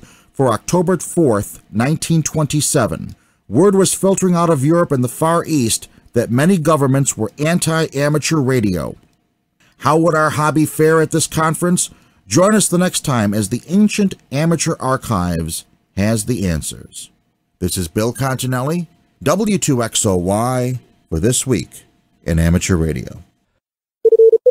Foundations of Amateur Radio. One of the many vexing issues associated with getting on air and making noise is actually making that happen. So, let's look at a completely restricted environment. An apartment building, seven stories off the ground, no ability to make holes, an unsympathetic council, restrictive local homeowners association, etc., etc. On the face of it, your amateur radio hobby is doomed from the start. In reality, it's only just beginning. So, to hear HF right now, today, you can go online and listen to a plethora of web-based software-defined radios. There's the canonical WebSDR in Twente, and a whole host of others using the same or similar software. There's KiwiSDR, AirSpy, Global Tuners, and many more. This will give you countless radios to play with, coverage across the globe, the ability to compare signals from different receivers at the same time on the same frequency, the ability to decode digital modes, find propagation, learn about how contests are done. The sky's the limit. I'll add that you don't need an amateur license for many of these resources. So if you're considering becoming part of the community of radio amateurs, this is a great way to dip your toe in the water. Think of it as a shortwave listening experience on steroids. I hear you say, but that's not amateur radio. To that I say, actually, it is. It's everything except a physical antenna at your shack or the ability to transmit. Permit me a digression to the higher bands. If you want to listen to local repeaters on UHF and VHF, listen to DMR and BrandMeister, you'll find plenty of online resources as well. You can often use a handheld radio to connect to a local repeater, which can get you onto the global Echolink, IRLP and All-Star networks. Failing that, there's phone apps to make that connection instead. Of course, if you want to expand your repertoire to transmission beyond a handheld, you can. There are online transmitters as well. Many clubs have their club station available for amateurs to use remotely using a tool like Remote Hams. You'll get access to a radio that's able to transmit, and you'll be able to make contacts, even do digital modes and contests. You will require an amateur license and access to such a station. Some clubs will require that you pay towards the running of such a service, and often you'll need to be a member. Then there's actually going to the club, you know, physically, going to the club shack and twiddling physical knobs. Though for plenty of clubs, that's now also a computer, since they're adopting software-defined radios, just like the rest of the community is. Using a radio via a computer can be achieved directly in the shack, but there's no reason to stay on site. You can often use these radios from the comfort of your own shack. If you do want to get physical with your own gear, receiving is pretty simple. A radio with a wire attached to it will get you listening to the local environment. I have, for example, a Raspberry Pi connected to an RTL SDR dongle that's connected to a wire antenna in my shack. It's listening across the bands 24-7 and reporting on what it hears. If you want to use an actual transceiver and you don't have the ability to set up an antenna, kit out your car and go mobile. Failing that, make a Go kit with batteries, which, as an aside, will stand you in good stead during an emergency. Take your Go kit camping, or climbing, or hiking. Plenty of opportunities to get on air and make noise. I hear you asking, what about having an antenna farm? Well, you can set one up in a farmer's paddock and connect to it remotely. You will need permission from the landowner. There's plenty of amateurs who use their country abode as a remote station. If you want to make noise at your actual shack, the antenna might be a piece of wire hanging from the balcony after dark, or an antenna clamped to the railing. You can use a magnetic loop inside your house. Some enterprising amateurs have tuned up the gutters in their building, or made a flagpole vertical, or laid a coax antenna on the roof. Have a look for stealth antennas. There's a hundred years of amateurs facing the same problem. My own station is very minimalist. There's literally a vertical antenna clamped to the steel patio. Using that, I'm working the world with 5 watts, 14,000 kilometers on 10 meters. No kidding. Getting on air and making noise doesn't have to start and finish with a Yagi on a tower. There's plenty of other opportunities to be an active amateur. I'm Onno, Victor Kilo 6, Foxtrot Lima, Alpha Bravo. With the propagation forecast for Friday, December 18th, this is W2XBS. Tad Cook, K7RA in Seattle, reports that solar activity has declined with the weekly average daily sunspot number slipping from 57.6 during the last reporting week to 17.4 over the past week. Solar flux averages also slipped over the past two weeks from 108.1 to 91.9 and all the way down to 82.1 over the most recent week. The latest solar flux prediction also appears soft. Solar flux is expected to peak at 86 on December 26th to the 28th and hit a low of 82 on January 1st through the 10th, and then peak again back up at 86 from January 21st to the 24th. Predicted values over the next 45 days are 82 on December 18th to the 24th, 83 on December 25th, 86 on December 26th to the 28th, 85, 84, and 83 on December 29th to the 31st, 82 on January 1st to January 10th, 83, 83, and 84 on January 11th to the 13th, 85 on January 14th to the 20th. The predicted planetary A index is 5 on December 18th to the 20th, 12 on December 21st, 8 on December 22nd to the 25th, 5 on December 26th to January 4th, and 10 on January 5th and 6th. I'm Rick Lindquist, WW1ME, and here's the AMSAT report from Bruce Paige, KK5DO.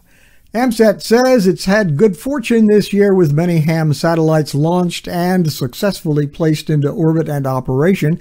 To those who have spent time building and having payloads deployed, congratulations on a job well done. More developments are ahead to bring a satellite into high Earth orbit again. The next generation of AMSAT satellites, GOLF, or Greater Orbit Larger Footprint, is in development. The first satellite in the series is Golf T, which is planned to launch no earlier than 2022. Following that will be Golf 1, which is planned to launch no earlier than fourth quarter of 2022. Go to the AMSAT.org website for more information. And remember, AMSAT is always looking for talented volunteers. Click on Get Involved and volunteer for AMSAT. The AMSAT report is compliments of Bruce Paige, KK5DO, who extends happy holiday wishes on behalf of the AMSAT Board of Directors. Another hugely successful initiative in the world of amateur radio is YOTA, the Youngsters on the Air program. Few can have missed the special call signs being activated all over the world on an almost continuous basis, and the obvious enthusiasm is a pleasure to hear. Over in the Republic of Ireland, the youngsters on the air call sign Echo India Zero Yankee Oscar Tango Alpha has been activated a number of times since the start of December. Special thanks go to 8-year-old Ryan, Echo India 8 Kilo Whiskey, 11-year-old Siobhan, the daughter of Adrian, Echo India 9 Hotel Alpha Bravo, and Slav, Echo India 6 Kilo Whiskey and his daughter, who have taken the time to operate the Echo India 0 Yankee Oscar Tango Alpha call sign. And between them, they've achieved over a thousand contacts so far. If anyone else would like to take the time to activate the call sign this December and share the hobby with a young relative or a friend, please contact the Irish Radio Transmitters Society Youth Officer, Neil, Echo India 6 Hotel India Bravo. You can reach him by email ei6hib at hotmail.com. 43 stations with the YOTA suffix are now listed on the YOTA website at events.ham-yota.com. By working these YOTA stations during December, you can qualify for an award that's available in four categories bronze, silver, gold, and platinum. Check the YOTA website for details. That URL again events.ham-yota.com. We are This Week in Amateur Radio, your amateur radio and technology news magazine of the air, available as a podcast on iTunes, Google Play, iHeartMedia, and Spotify. Finland lost the important 1240 to 1300 MHz amateur radio band on April 24, 2020. National Society SRAL now asking for 220 to 225 MHz as a replacement, their initial request for 902 to 928 MHz having been rejected.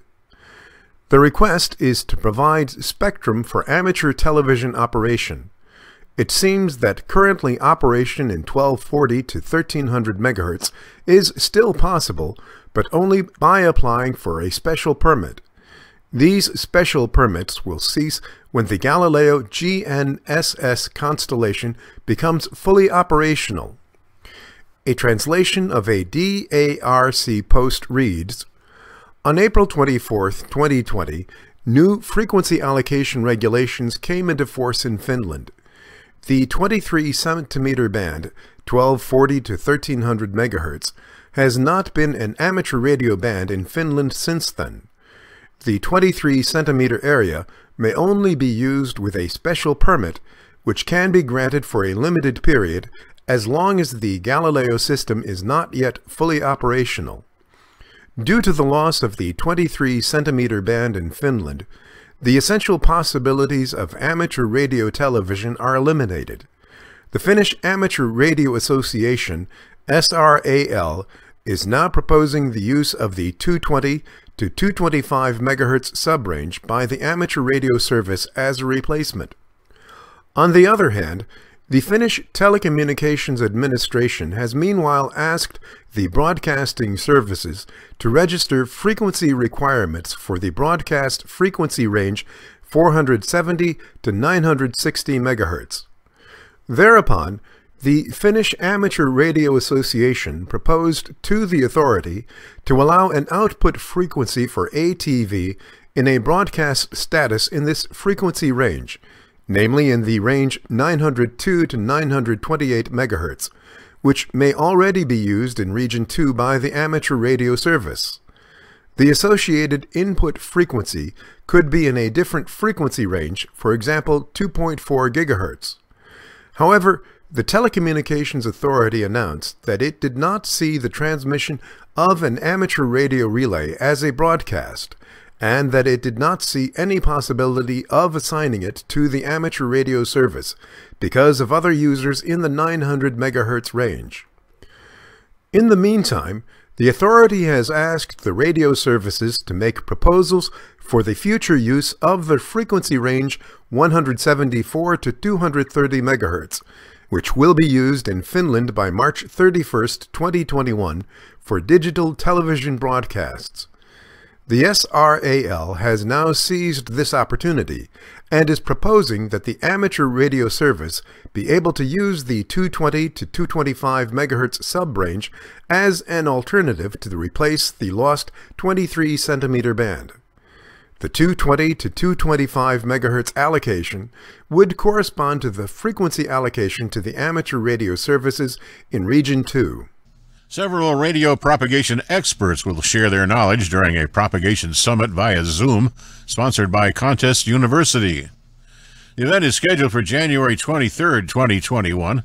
The presentation schedule includes an update on the Personal Space Weather Station project and HamSCI activities for 2021, hosted by Nathaniel Frizzell, W2NAF, at 11 a.m. Eastern Standard Time, or 1600 UTC. Solar Cycle 25 predictions in progress with Carl Schwab, K9LA, at noon, or 1700 UTC. Maximizing performance of HF antennas and irregular terrain, hosted by Jim Breakall, WA3FET, at 1 p.m. Eastern Standard Time, or 1800 UTC. And HF ionospheric propagation with Frank Donovan, W3LPL, at 2 p.m. EST, or 1900 UTC. Registration is free. An ICOM IC705 will be raffled off as a donor prize. The winner must be present on Zoom to win. A lot of work is going on at the International Amateur Radio Union concerning the 23 centimetre band. It's proposed that the band be shared between radio amateurs and commercial radio navigation satellite systems. The commercial users are raising concerns about the potential for interference to their systems caused by amateurs. A significant technical investigation is now gathering pace.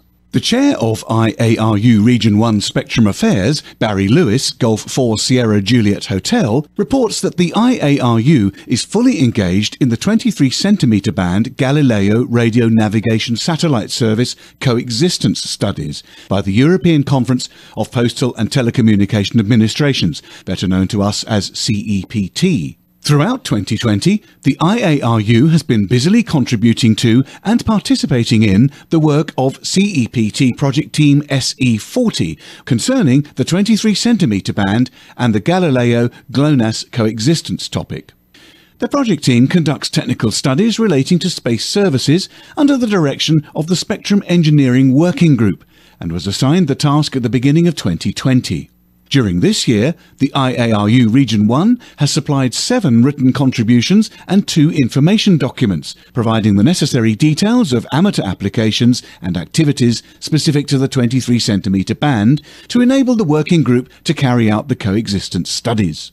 The last working group meeting in 2020 was held from the 2nd to the 7th of December, and the IARU Region 1 was represented by Barry G4 Sierra Juliet Hotel.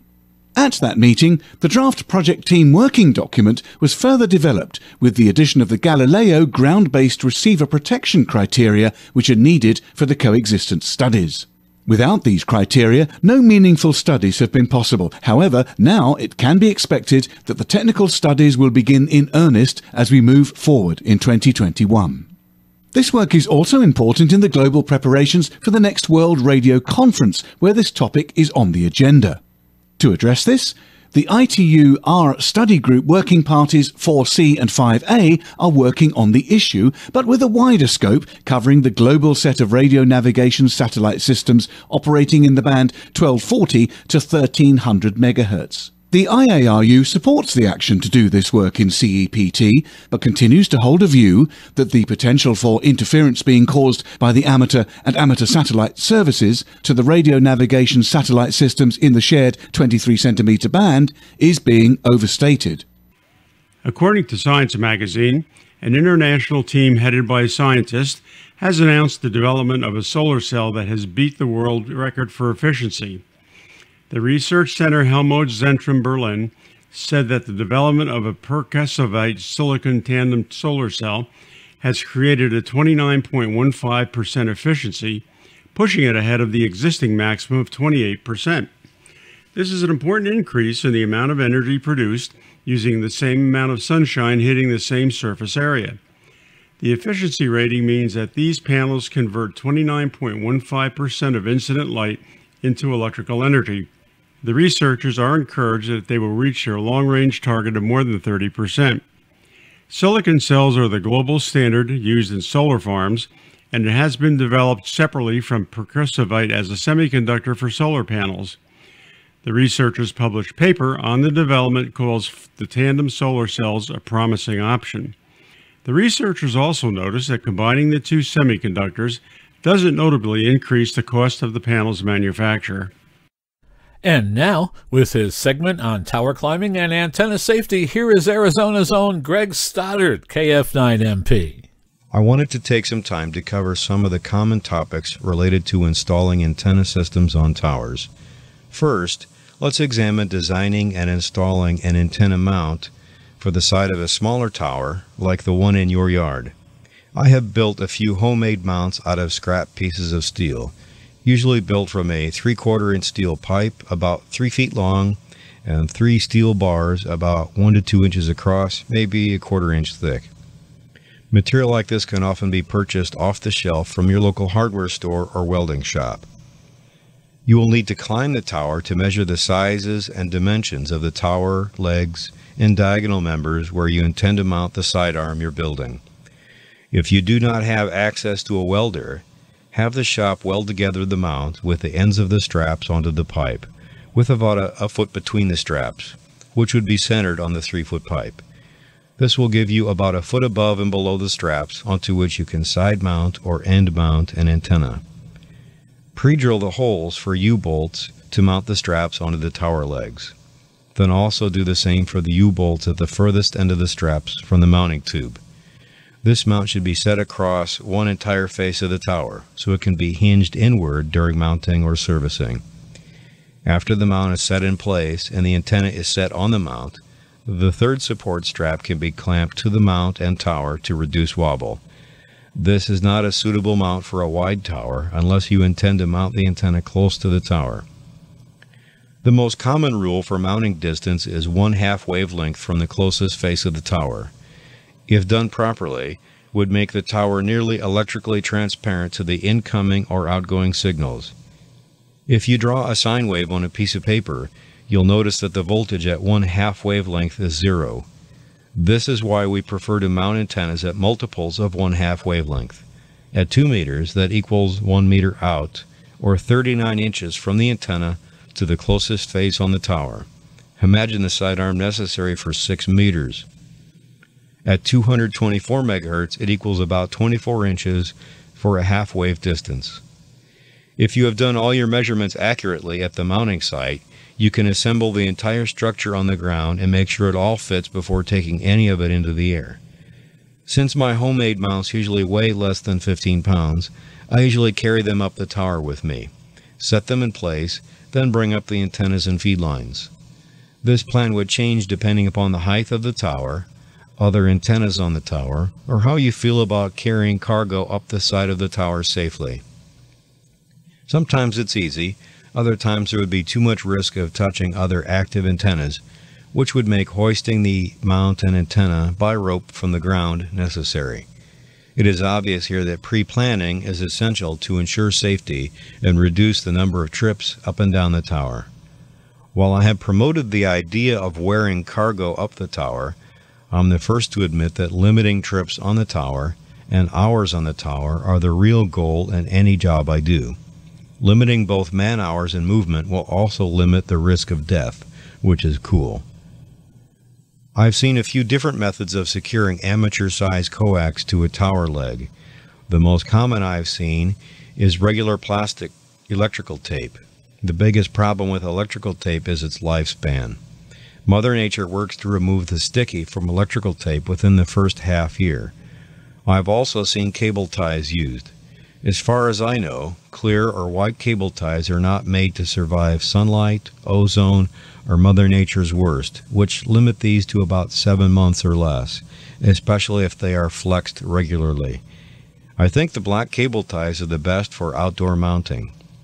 Lastly, I've seen 12 gauge solid wire with insulation cut to 5 inch lengths and wrapped around the tower leg and coax, then twisted.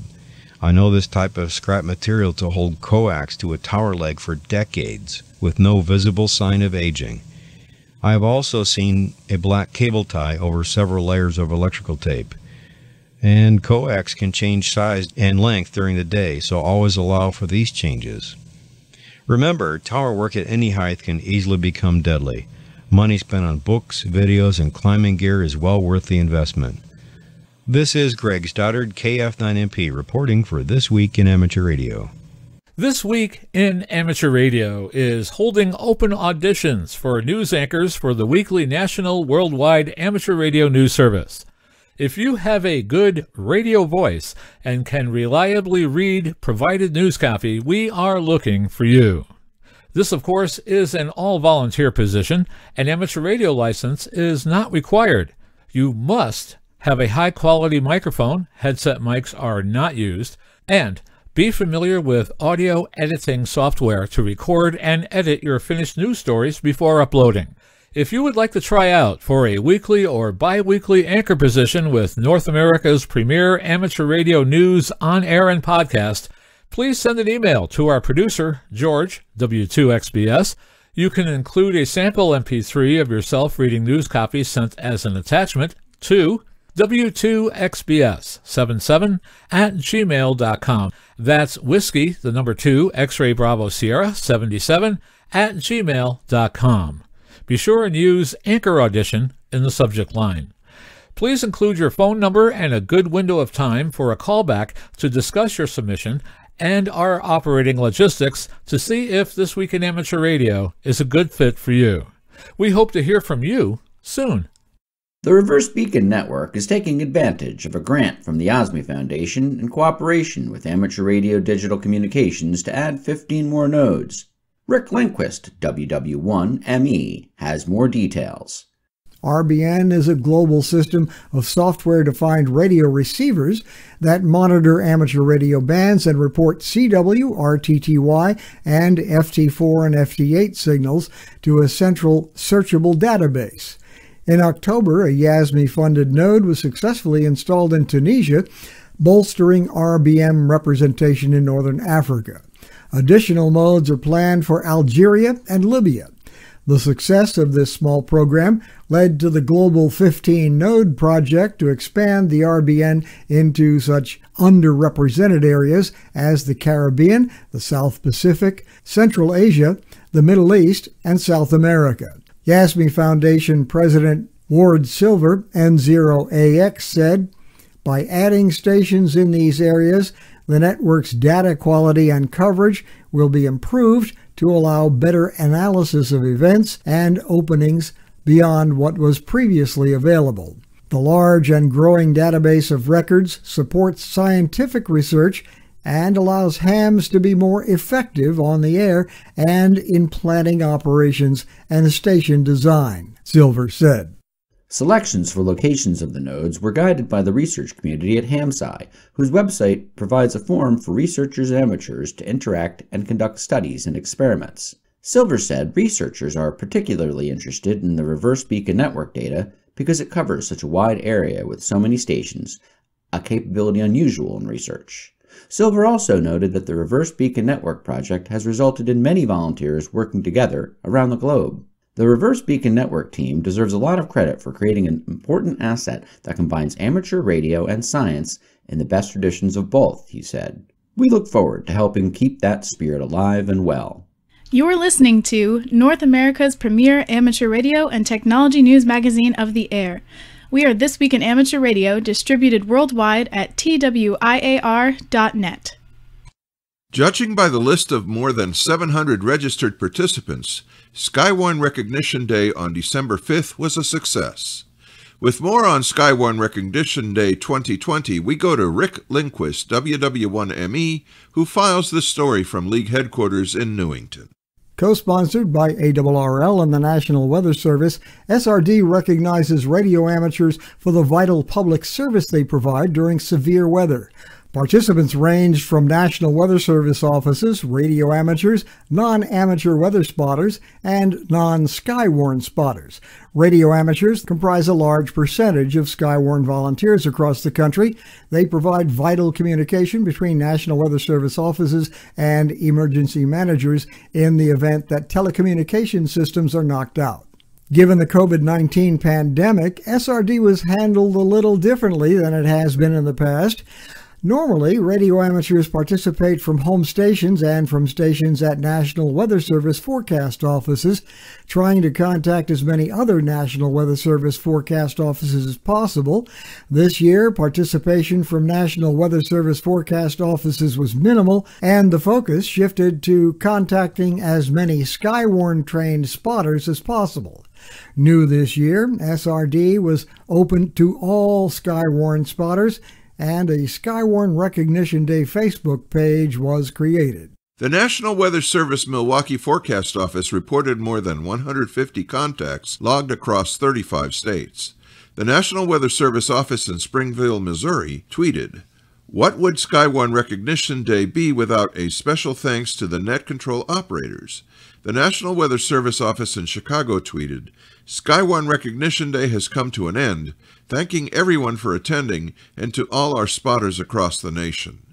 Skywarn Recognition Day planner and organizer Michael Lewis, KG4KJQ, who is the warning coordination meteorologist in the Northern Indiana National Weather Service Forecast Office, expressed appreciation to the Skywarn Recognition Day planning team and the Facebook livestream presenters for helping to make the event a success. The National Weather Service Forecast Office in Northern Indiana registered 34 radio amateurs. The office serves 37 counties in northern Indiana, southwest lower Michigan, and northwest Ohio. And now, with our final story to close out this week's news from Southgate Vibes, here's Steve Richards, G4HPE. In the comfortable world of communications we inhabit today, the idea that the internet might just disappear is almost unimaginable. But this could, and indeed it does happen, in parts of the world that are at risk from natural disasters, particularly if their infrastructure is not a robust one. So, what do you do if the internet ceases to work because of a hurricane that has struck a remote island or an earthquake that has caused a failure of power supplies over a wide area?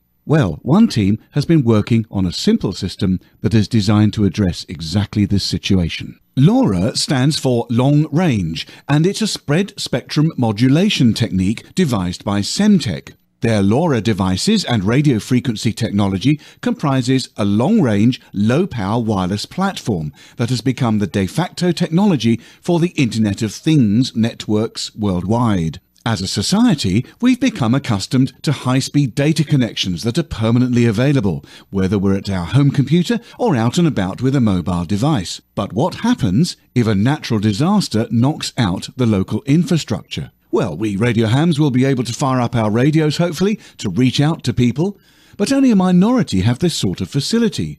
What we really need is a backup internet. The team behind the CellSol project hopes to show that building a volunteer-operated distributed communications network is not only within capabilities, but is probably much easier and cheaper to do than you might think. Each node in the network, known as a pylon in CellSol parlance, can shuttle data between the LoRa backbone and Wi-Fi enabled devices like smartphones and computers. Once the network is up and running, users don't need any special hardware or software to use it.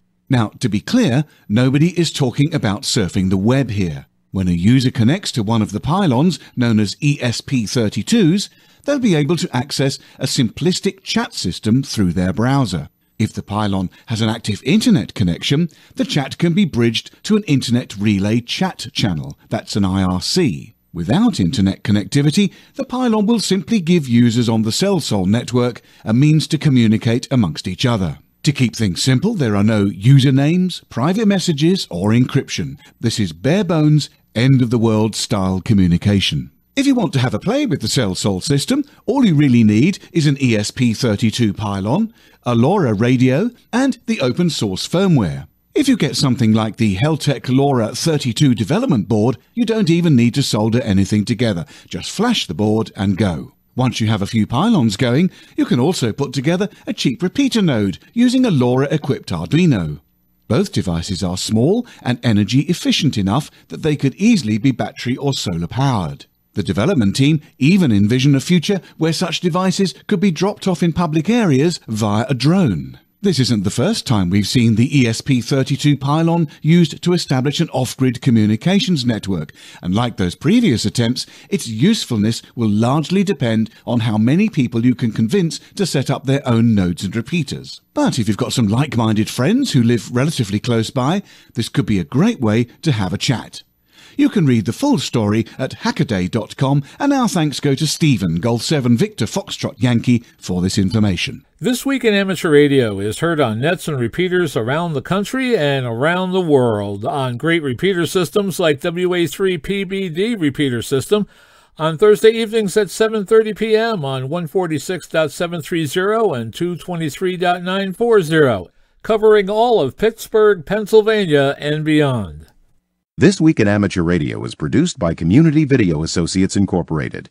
Now, for the staff of This Week in Amateur Radio, this is Jeff Ronner, WB2AEQ, saying 73 until next week. This Week in Amateur Radio is copyright Community Video Associates Incorporated. All rights reserved.